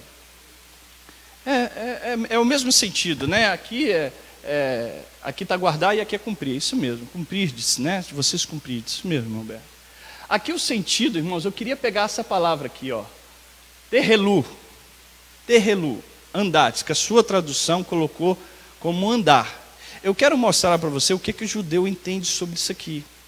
Vem da palavra ralar, que significa andar. Francisco, bem fácil, minha tradução é, é, conseguiu copiar perfeitamente. Mas a essência que o judeu entende desse termo aqui, terrelu, desse verbo ralar, andar, é no sentido de. Quando, quando eu falo andar, você está indo para o quê? Para um endereço, para um objetivo. Você está buscando aquele endereço. Quando a Torá descreve aqui o verbo ralar, está falando busque, ocupa-se, ande até o mandamento, vá até ele. E eu botei aqui, ó, a palavra, a, a, palavra aqui que nós colocamos aqui é assar, que está aqui dentro e quer cumprir, que o irmão Alberto falou, guardar, ela tem a tradução, ó, fazer, realizar, ocupar-se. Ocupar-se. O judeu, Sandrinho, quando ele está olhando esse verso que você acabou de ler, ele está falando assim, ó, andar significa eu não posso pegar a Bíblia e ficar andando com ela, né? Vamos lá pegar a Bíblia e vou andar com ela. Não posso. O que, que ele está dizendo com o verbo andar? É ocupar-se dela, é procurá-la, é ir em direção a ela, ela fazer parte da sua vida, não como um programa semanal, mas um programa diário, um momento diário da tua vida, um momento onde você se alimenta dela todos os dias da sua vida. Ela faz parte da sua existência, ela faz parte do seu momento, da sua vida, da sua direção, do que está por vir. A Torá, a Paraxá do Eterno, ela revela a nossa semana e revela de fato. É procurar, irmãos, o que, que a gente lê no Salmos capítulo 1? O que, que a gente lê? Bem-aventurado é o varão que não anda segundo o conselho dos ímpios, nem se assenta na roda com os encanecedores. Antes tem seu prazer na Torá do Eterno, e nela medita de dia e de noite. Ele será como árvore plantada junto a ribeiros de água, a qual dará o seu fruto na estação própria, e cujos seus frutos, suas folhas, nunca secará. Todos os dias, quando o judeu olha esse, esse verso, esse versículo de andar, ele está enfatizando aquilo que o rei Davi disse todos os dias. Esse é o meu prazer, de sentar e estudar a Torá de Hashem, de ter a revelação dela, de dia e de noite. Essa é a sua realidade? É a minha realidade? Eu vou perguntar por mim, só posso responder por mim. Você responde. A Torá do Senhor é um programa, é uma leitura semanal? Olha lá se for semanal, tá? Olha lá se for semanal, porque você vem aqui, você lê um versículo, quatro versos, versículo, acabou. Irmãos, a Torá não é Domingão do Faustão, não é Caldeirão do Hulk, que é mais programa, não é esporte espetacular, não é, estou falando de televisão aí que eu nem sei se existe, Faustão eu sei que, que existe, né? Não vejo esses programas, mas tô, não é um programa semanal. A Torá não é um, programa, um, um, um estudo shabático. A Torá é um estudo diário. Andar quer dizer correr atrás, buscar, revelar. Mulheres que aqui estão, vocês precisam incentivar os seus maridos. Até o momento da palavra de Hashem, os rabinos ensinam que a melhor forma que você tem de desviar do pecado, de fugir do pecado, é se ocupando com a Torá, é estudando dela. A gente passa o dia, aí eu não tenho tempo, eu chego meia-noite, eu saio cedo. Irmãos, tem tempo sim. Todos nós tem, temos, tem, temos tempo se dedicar a Hashem e a sua palavra. Todos nós. Bem-aventurado é o homem, está ali o verso. Hã? Desculpa, Jorge. Diariamente. É, de noite, o, Davi, eu não estou querendo que a gente aprenda isso com, com obrigação, né, irmãos? Eu vou ser sincero, o judeu, desde pequeno, ele é ensinado a leitura. Infelizmente, a nação brasileira, o povo brasileiro, não é habituado com a, leitura, nós somos preguiçosos para a leitura. Estudar a palavra de Ah, a gente acha assim, ah, é, fazer a vontade de Hashem, essa não é. Estudar a Torá é uma mitzvah, é isso que eu estou te mostrando. É uma mitzvah, assim como você fazer bem ao seu próximo, assim como você orar, assim como você louvar, assim como você é, é, é, trabalha, que também é um mandamento. Todas essas coisas são princípios bíblicos. E estudar a palavra é uma mitzvah. Davi entendia isso de forma plena. De forma plena. E aqui, ó, tá ali, de dia e de noite. Ele medita, ele para, ele estuda. Nós precisamos aprender a estudar, parar de ler. Ah, lê, chega lá, mas, ah, mata o sacrifício, coloca um sacrifício, coloca sobre o altar, você vai derramar o sangue, vai espargir o sangue, depois você come a oferta. Estude, vai estudar. Hoje nós temos a benção da internet que pode te ajudar. Se você quiser algumas indicações de site, bons livros, a gente pode compartilhar, mas estude. Isso é bom para você, é benéfico né? E aqui, ó, vamos lá, vamos estudar aqui a Paraxá que nós já lemos, né? Eu não vou me delongar muito não, mas vamos lá, vamos voltar, tá tudo em hebraico. Veio da beira Donai ele Moshe Berasinai Lemor, nós já lemos, né?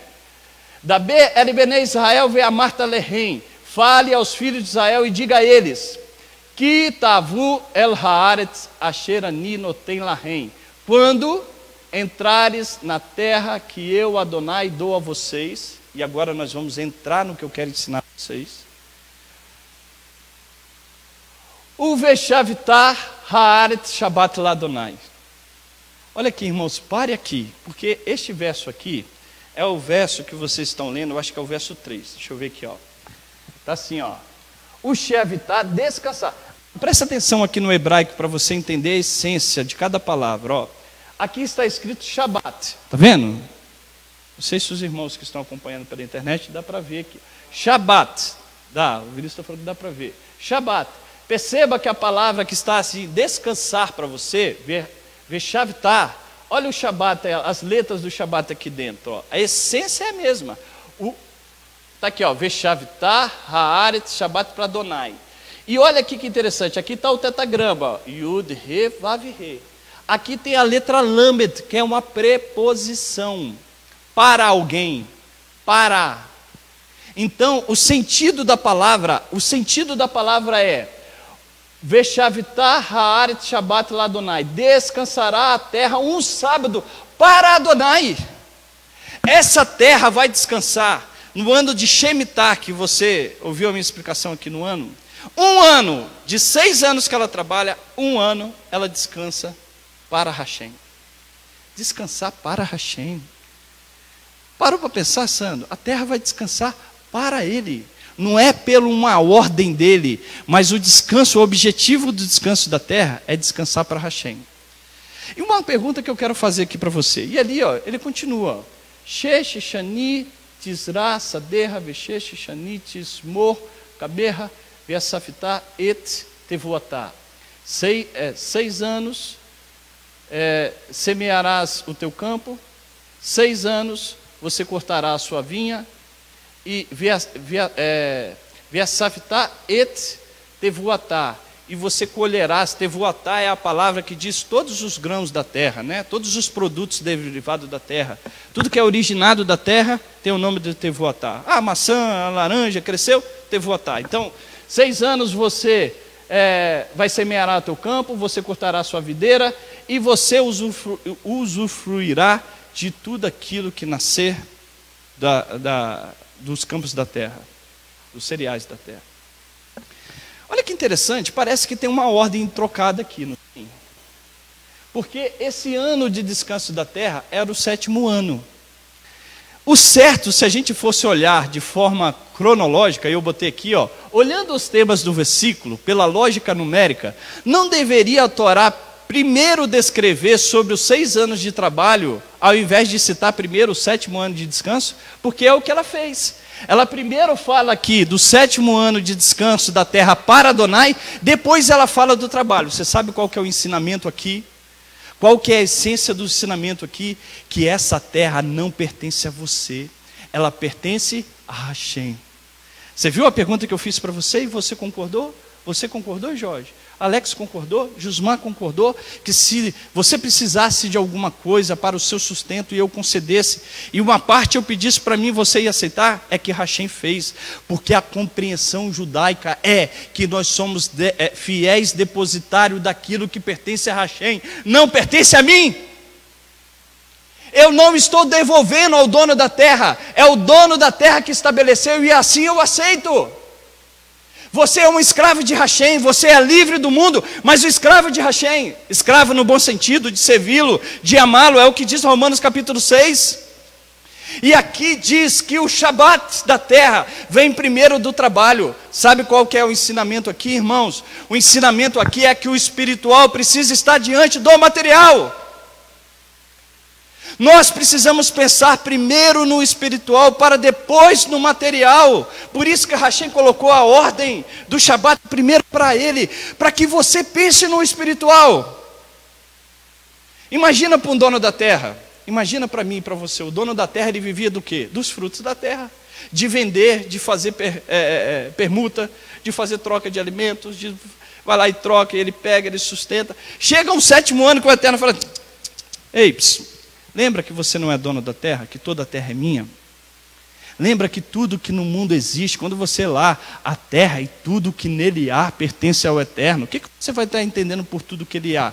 Você entende que o teu filho está dentro desse mundo que nele há? Responde. Você entende que a tua esposa está no mundo que ele há?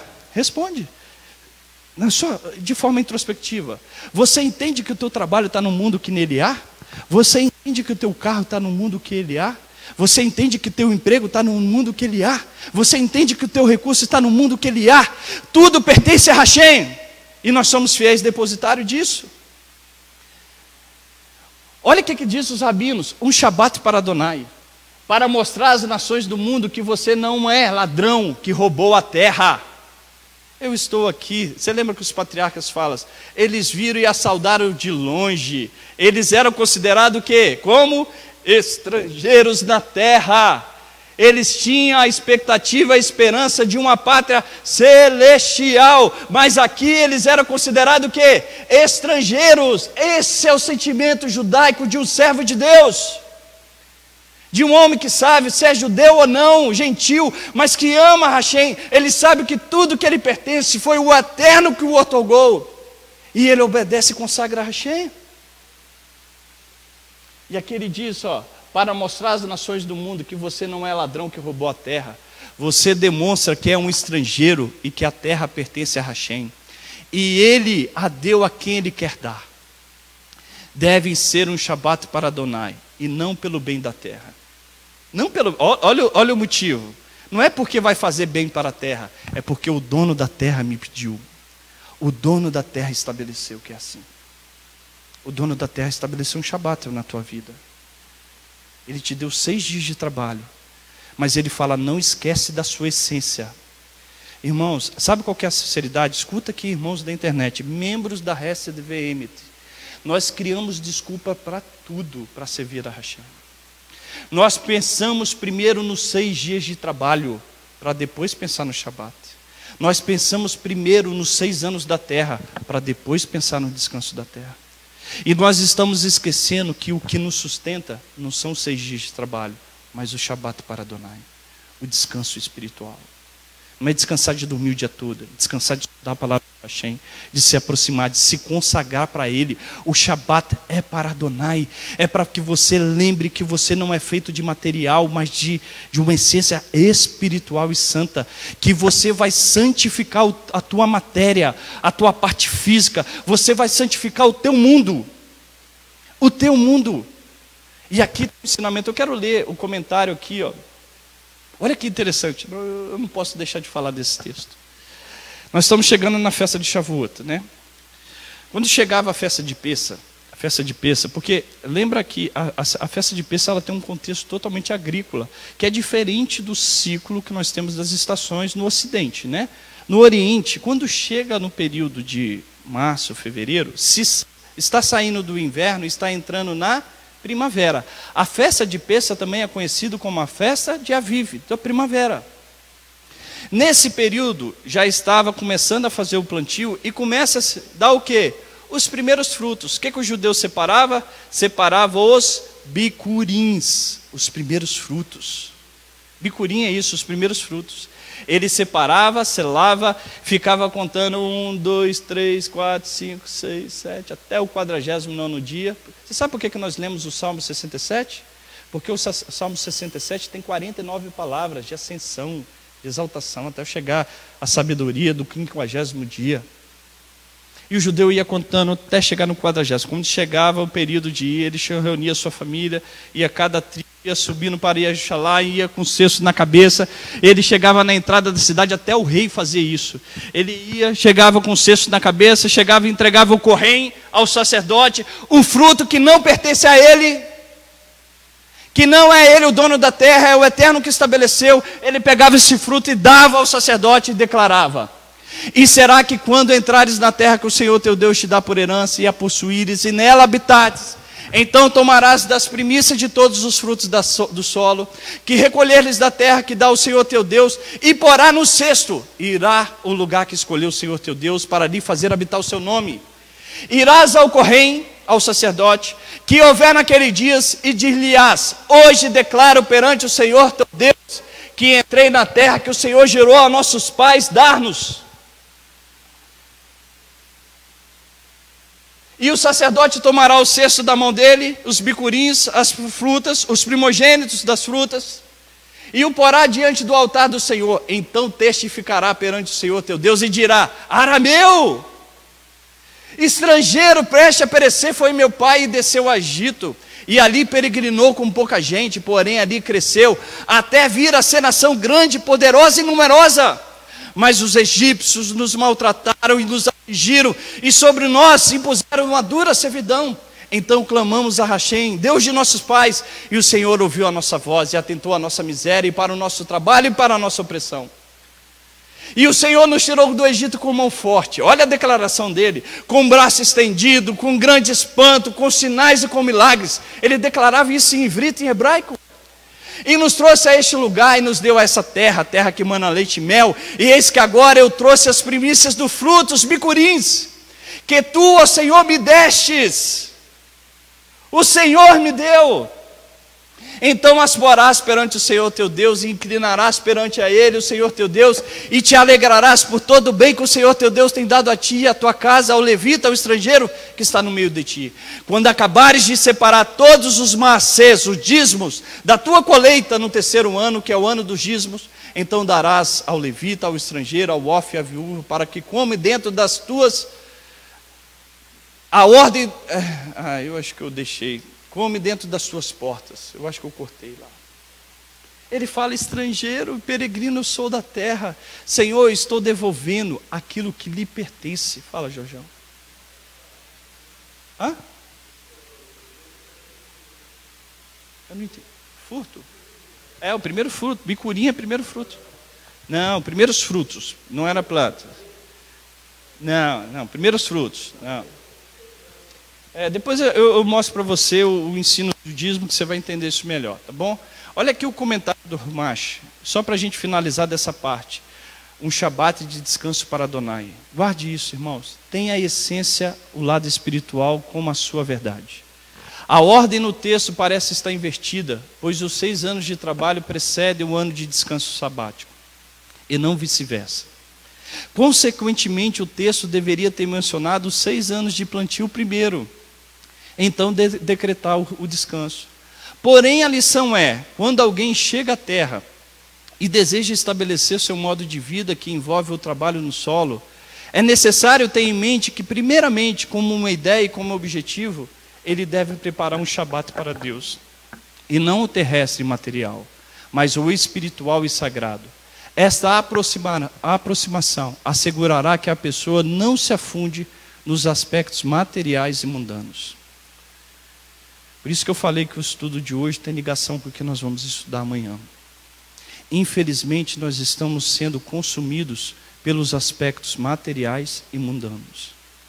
Nós não estamos dando lugar de descanso para Adonai, para voltar para a nossa essência, para buscar aquilo que é espiritual, para focar naquilo que o Eterno estabeleceu, que é ocupar-se com a sua Torá, que é fazer bem ao próximo, que é ajudar o nosso semelhante, que é buscar em oração, que a gente está reunido aprendendo da santa palavra de Hashem, é ajudar em comunidade. Nós não estamos preocupados com isso. Estamos preocupados com isso aqui. Pode falar, se quiser falar. O interessante aí que no, no verso 6 é, diz o seguinte, que nós, é, tudo que a terra produzisse seria, serviria de alimento, né?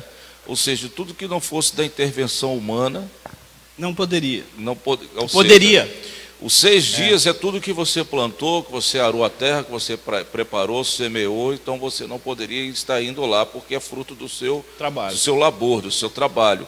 Então, o capítulo, o versículo 6 já fala que você vai ser totalmente dependente das De mãos do Hashem. Eterno, Amém. que é o que vai ser produzido pela, pela terra, ou seja, tudo que é nativo da terra, tudo que não teve intervenção humana. Amém. Ou seja, é total dependência do- da, da mão forte do Eterno. O Sandrinho adiantou meu estudo. Porque quando você lê no português, você não entende isso que ele falou. E eu vou te mostrar que no hebraico enfatiza isso. Tu, que eu vou repetir o que ele falou. Tudo que foi intervenção humana, você não poderia desfrutar no sétimo ano. A não ser que era o milagre. Qual que é o título do nosso estudo? Voltando lá. Título do nosso estudo. Nossa, passei demais. Volta lá. Qual que é o título? Vocês esqueceram? Os frutos milagrosos da obediência. Os frutos milagrosos não são os frutos que você labutou, os milagrosos da obediência. O Sandro resumiu o meu estudo. E aqui, ó, vamos dar continuidade. Deixa eu só ler o outro comentário aqui do Rumacho. Da mesma forma, na vida diária, imagina a sua vida, irmãos. Olha só, isso que eu acho lindo no judaísmo. Isso que, se você perguntar, eu sempre falo isso aqui na congregação. Quando você chega e perguntando assim, qual que é a diferença do judaísmo para o cristianismo? Não falo da questão de Yeshua. Pega um rabino hoje ensinando, pega um rabino hoje ensinando que não crê em Yeshua. Você vai ouvir ele falando o tempo todo da Brida Hadashah. O tempo todo da Brida Hadashah. Parece que ele usa as mesmas palavras, parece que ele conhece a Brida Hadashah. E ele conhece de fato. Porque Yeshua estudava o quê? A Torá. Ele falava o quê? Da Torá. O que é a Brida Hadashah? A Torá. Pega um rabino hoje, você vai ver, não deixa ele, fica ouvindo é, é, é, esses pensamentos totalmente antagônicos, anti-Messias, contra Yeshua, mas as coisas que são boas, pare e olha, você vai ver como é que ele ensina a Brida Hadashah inteirinha. Inteirinha. E aqui, ó, perceba que.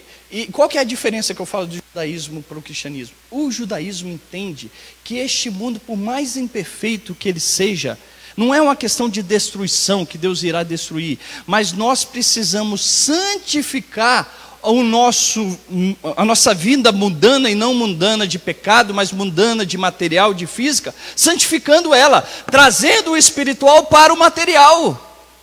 Santificar o Shabat, santificar a terra, é você trazer o espiritual para o material. E essa que é a compreensão judaica, nós somos sócios do Eterno nessa missão de fazer com que o mundo espiritual se materialize de forma espiritual nas nossas ações e da humanidade. O que, que Yeshua fala na sua oração?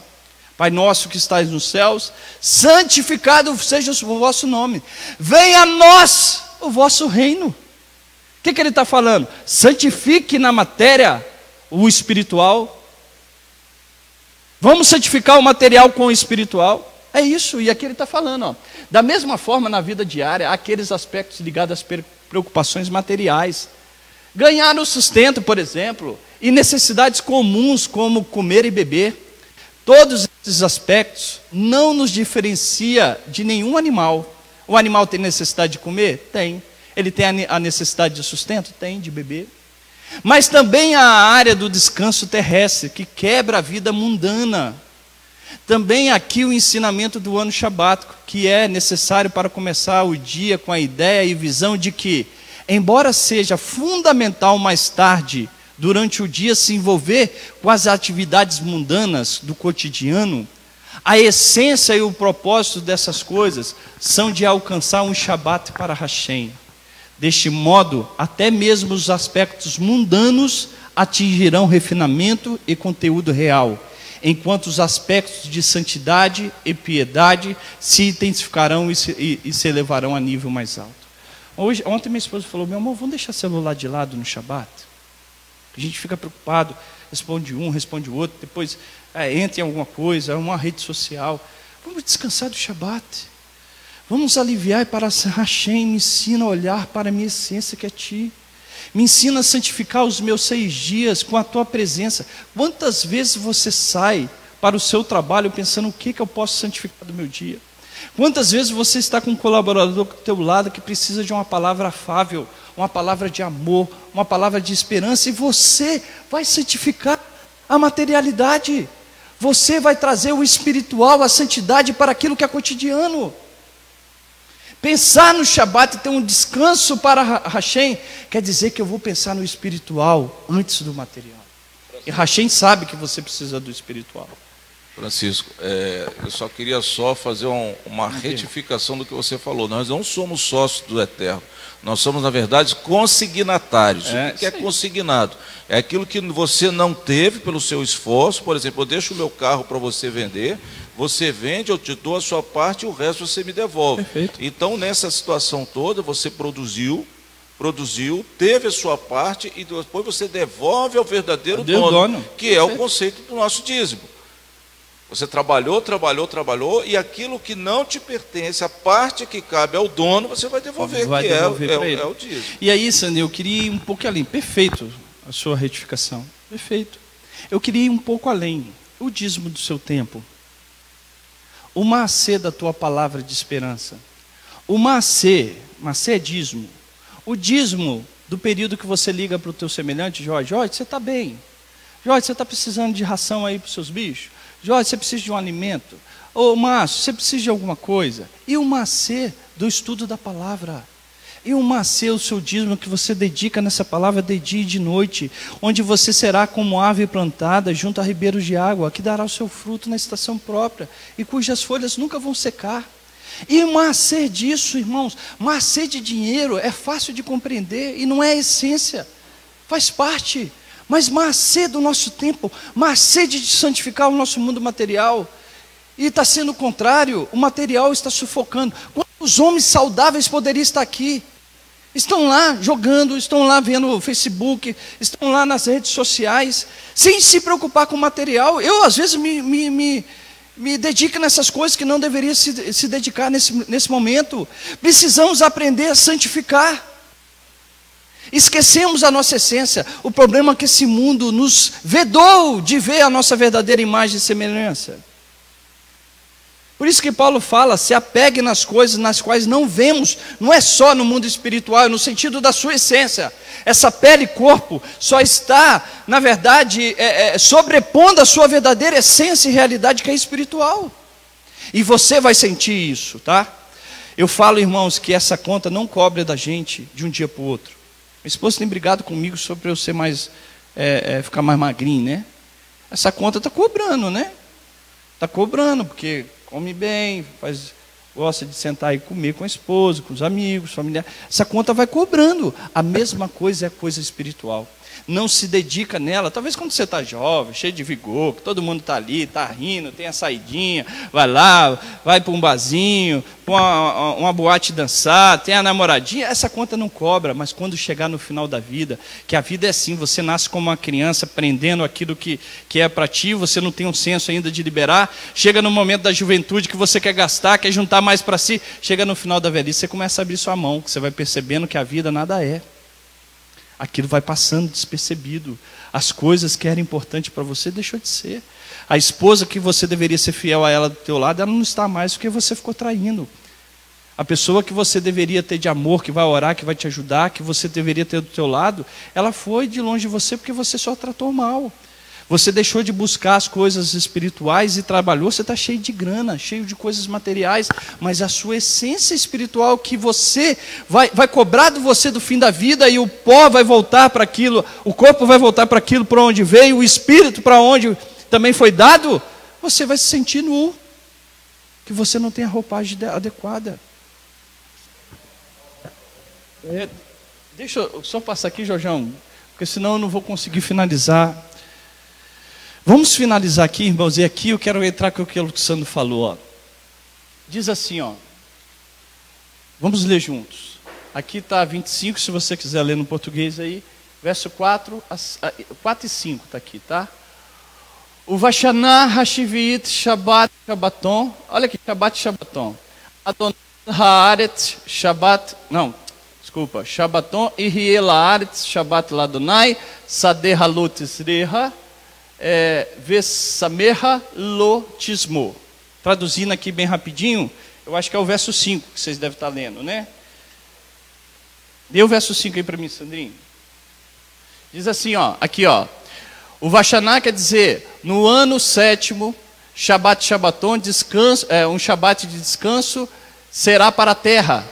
Shabat para Adonai, o teu campo você não semeará, videira você não vindimará, não podarás. É o verso 5 que eu acabei de falar? 4, né? Quatro. Aí continuando, ó, olha aqui, presta atenção que aqui é o que o Sandro falou. Aqui está falando assim, ó, neste momento do Shabat você não vai. Imagina lá um campo. Você semeou e plantou naquele campo. Aí aqui está a proibição, ó. A proibição é no teu campo, cadê? Ó, no teu campo você não semeará mais no sétimo ano. Aí você plantou a videira, a nossa videira ali, Manel. Plantamos a nossa videira. No sétimo ano, você não podarás. Não vai poder podá-la. Ele está proibindo. Aí chega naquilo que o Sandro falou. Porque se você ler no português, leia, Sandro, logo o versículo 5. Pode ler. Não colham o que cresce sozinho das sementes deixadas por vocês na colheita anterior. Ó, deu até uma tradução, David Esther. Não colha as sementes que deixado por vocês. Vai lá. E não recolha as uvas da vinha não podada. Será um ano de descanso absoluto para a terra. Então vamos lá, presta atenção em mim. Eu plantei videira, eu plantei figueira, eu plantei macieira. Macieira que fala? Macieira, né? Coloquei lá. Chegou no sétimo ano, aquilo que eu plantei, aquilo que eu arei a terra, eu fui, plantei no sexto ano, nos anos anteriores, que começar a surgir desse plantio que eu fiz na minha lavoura, o que surgir dela, eu não posso comer e eu não posso podar aquilo que já tinha sido crescido, que eu plantei. É o que o Sandro falou. Aquilo que era trabalho humano não se toca. Não pertence a você. Você não poderia comer. Você não poderia pegar desse fruto e falar assim: eu vou vender esse fruto aqui no sétimo ano. Porque fui eu que plantei, fui eu que semeei. Aqui a Torá está proibindo. Aí aqui ele fala: ó, et sefiar. Que sefiar é a palavra de nascer de forma espontânea. Ó, et sefiar lor tik- tiktserra, que nascer da sua colheita. É, é, então, ó, o que nascer da sua colheita, veet inevei nezireha, e da uva da videira lo tivitsor, não, não podarás. Shenat, então é ano, Shabaton de descanso para a terra. Ano de descanso para a terra. Então você foi lá, plantou nos seis anos. O que nasceu do próprio plantio seu, no sétimo ano, esquece. Não pertence a você, pertence a outro. Tem dono, a Hashem e aqueles que ele determinou. Aí vamos continuar. Agora, olha que lindo, irmãos. Isso aqui é maravilhoso. Grave aí os frutos milagrosos da obediência. Diz assim, ó: Verhaitar Shabbat Haaretz Lahem Leor Leorlah. O que nascer, aqui essa palavra, presta atenção aqui. Essa palavra verhaitar é o que vier existir de forma é, da terra, sem ser a parte que você plantou, aí está dizendo, ó, o que vier a existir no Shabat da terra será para vós alimento. De forma milagrosa, começa a surgir os frutos na terra, que não era a vinha, nem, uma, nem a, a planta que você plantou e semeou. Começa a surgir. Esses alimentos que começam a surgir, que são milagrosos, dependente de Hashem, sabe quem você vai sustentar? Sabe quem você vai sustentar? Vamos ver aqui. Está dizendo, ó, Lerá para ti. Então, será alimento para ti. O Leaviderra para o teu servo. Olha, para ti não é só você, tá? Sua família. Esse para ti aqui se refere à sua família. Misparrar, sua família. Então, para ti, para a tua família. O Leaviderra para o teu servo. Vê lá a materra para a tua escrava. Olha, já estou. Não é só para mim o milagre, não. É para o meu servo, é para a minha escrava. Velish irá para o teu assalariado, para a pessoa que trabalha para ti. O letoshaverra, aqui é, é, o letoshaverra significa o habitante que está contigo, aquele que habita com você. Ele não é teu escravo, ele não é teu servo, mas ele habita contigo. E aqui ele continua: Hagarim e Mar. E ainda o peregrino. Hagarim vem da palavra reg, que é perna, o peregrino que está junto de você. Então, irmãos, para para pensar. Olha como que nós somos egoístas. Nós não guardamos o Shabat, nós não guardamos os nossos dias, nós não damos nosso tempo, porque nós estamos preocupados conosco, com as nossas famílias. Hashem está dizendo que se você confiar nele, se você buscar a santidade estabelecida no Shabat, no descanso da terra, exercer a emunar, a fidelidade nele, você vai alimentar não só a ti, não só a sua família, mas o teu servo, a tua escrava, o, o teu assalariado, o habitante e o peregrino que está junto de você. E você quer uma boa notícia? Não acabou, não. Não acabou, não. Continuando, tem mais, ó. Veliv, Veliv enterra o teu gado. Não acabou, não, tem mais.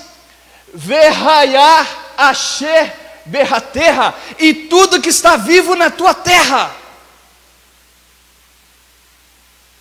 E tudo que está vivo na tua terra. E continuando, Tirie, Kol, Tevuatá, Le errou, e será tudo que existir da terra para os, de forma sobrenatural para mantimento.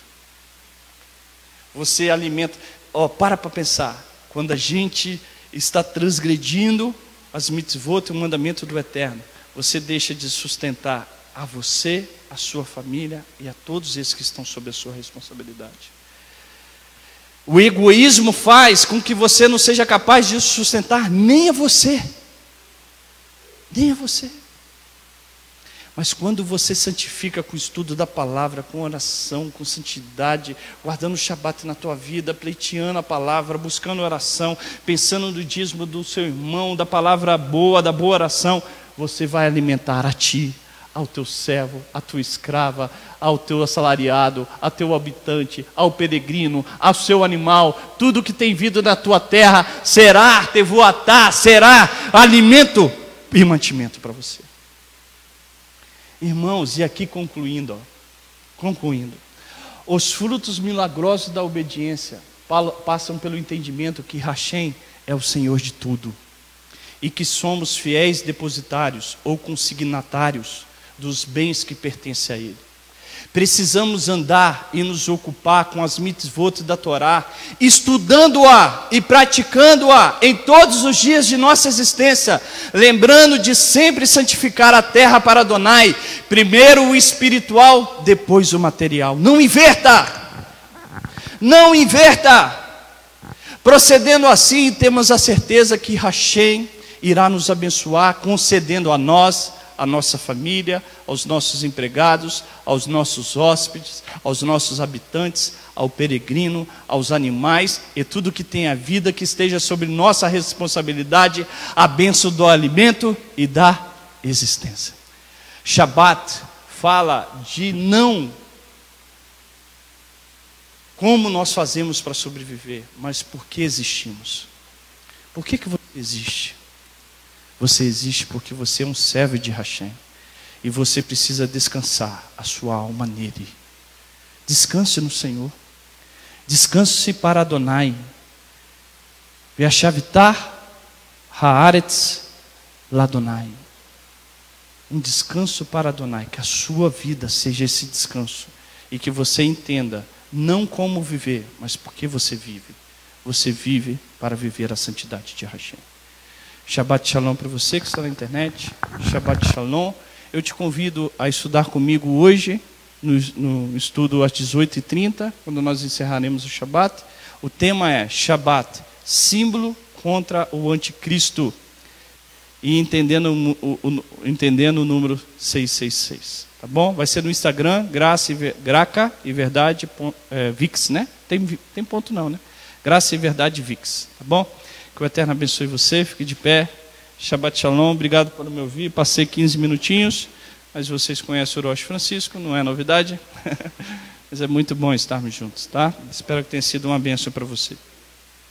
Hã? Ah, ainda bem que vocês lembraram. Vamos dizer, irmãos, que isso aqui seja uma verdade na tua vida. Hazak, Hazak, Venit Hazek.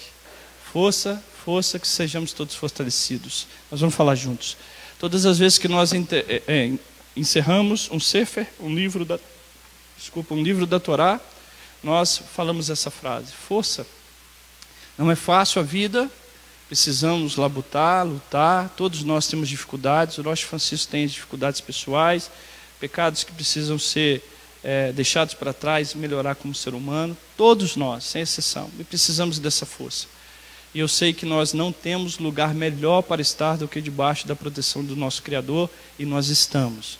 Existe um sangue que verte no altar de Hashem por nossas vidas, e este sangue nos justifica de todo e qualquer pecado. Tenha vontade e desejo de servir a Hashem, que ele há de abrir as portas. Eu sempre falo, né? A Torá de Hashem, a gente, eu moro ali na Praia da Costa, quando entra naquela água gelada, no calor daquele frio, a Torá de Hashem é igual aquela água gelada naquele tempo quente que você entra naquela água te machuca, mas no momento que você habitua com aquela água, a sua temperatura vai se adequando com a água, você não quer sair dela de jeito nenhum. A Torá é a mesma coisa. Se aprofunde nela, que ela no momento vai te dar um impacto, porque vai ser contrário à tua natureza pecaminosa. Mas quando você aprofundar nela, você vai ver como ela faz parte da sua essência e você não deixará, não, não há de deixá-la, você há de abraçá-la. Bem-aventurados é aqueles que nela se apegam e que nela se apoia. Que você se apoie, tá bom? Vamos juntos? Razak, Razak, Venit, Razek. Força, força. Que sejamos todos fortalecidos em nome de Yeshua HaMashiach. Que o Eterno te abençoe e te guarde. Feche os teus olhos. Yevareha Adonai Vishmereha, Yeha Adonai Panaveleha Virunica, Isa Adonai Panaveleha, Viasimeleha Shalom, Bishem Yeshua HaMashiach. Que o Eterno te abençoe e te guarde, que o Eterno faça resplandecer o seu rosto sobre ti e tenha misericórdia de ti. Que o Eterno sobre ti levante o teu rosto e lhe dê a paz, Razak, Razak, força nesse Shabat especial. Shabbat Shalom para todos.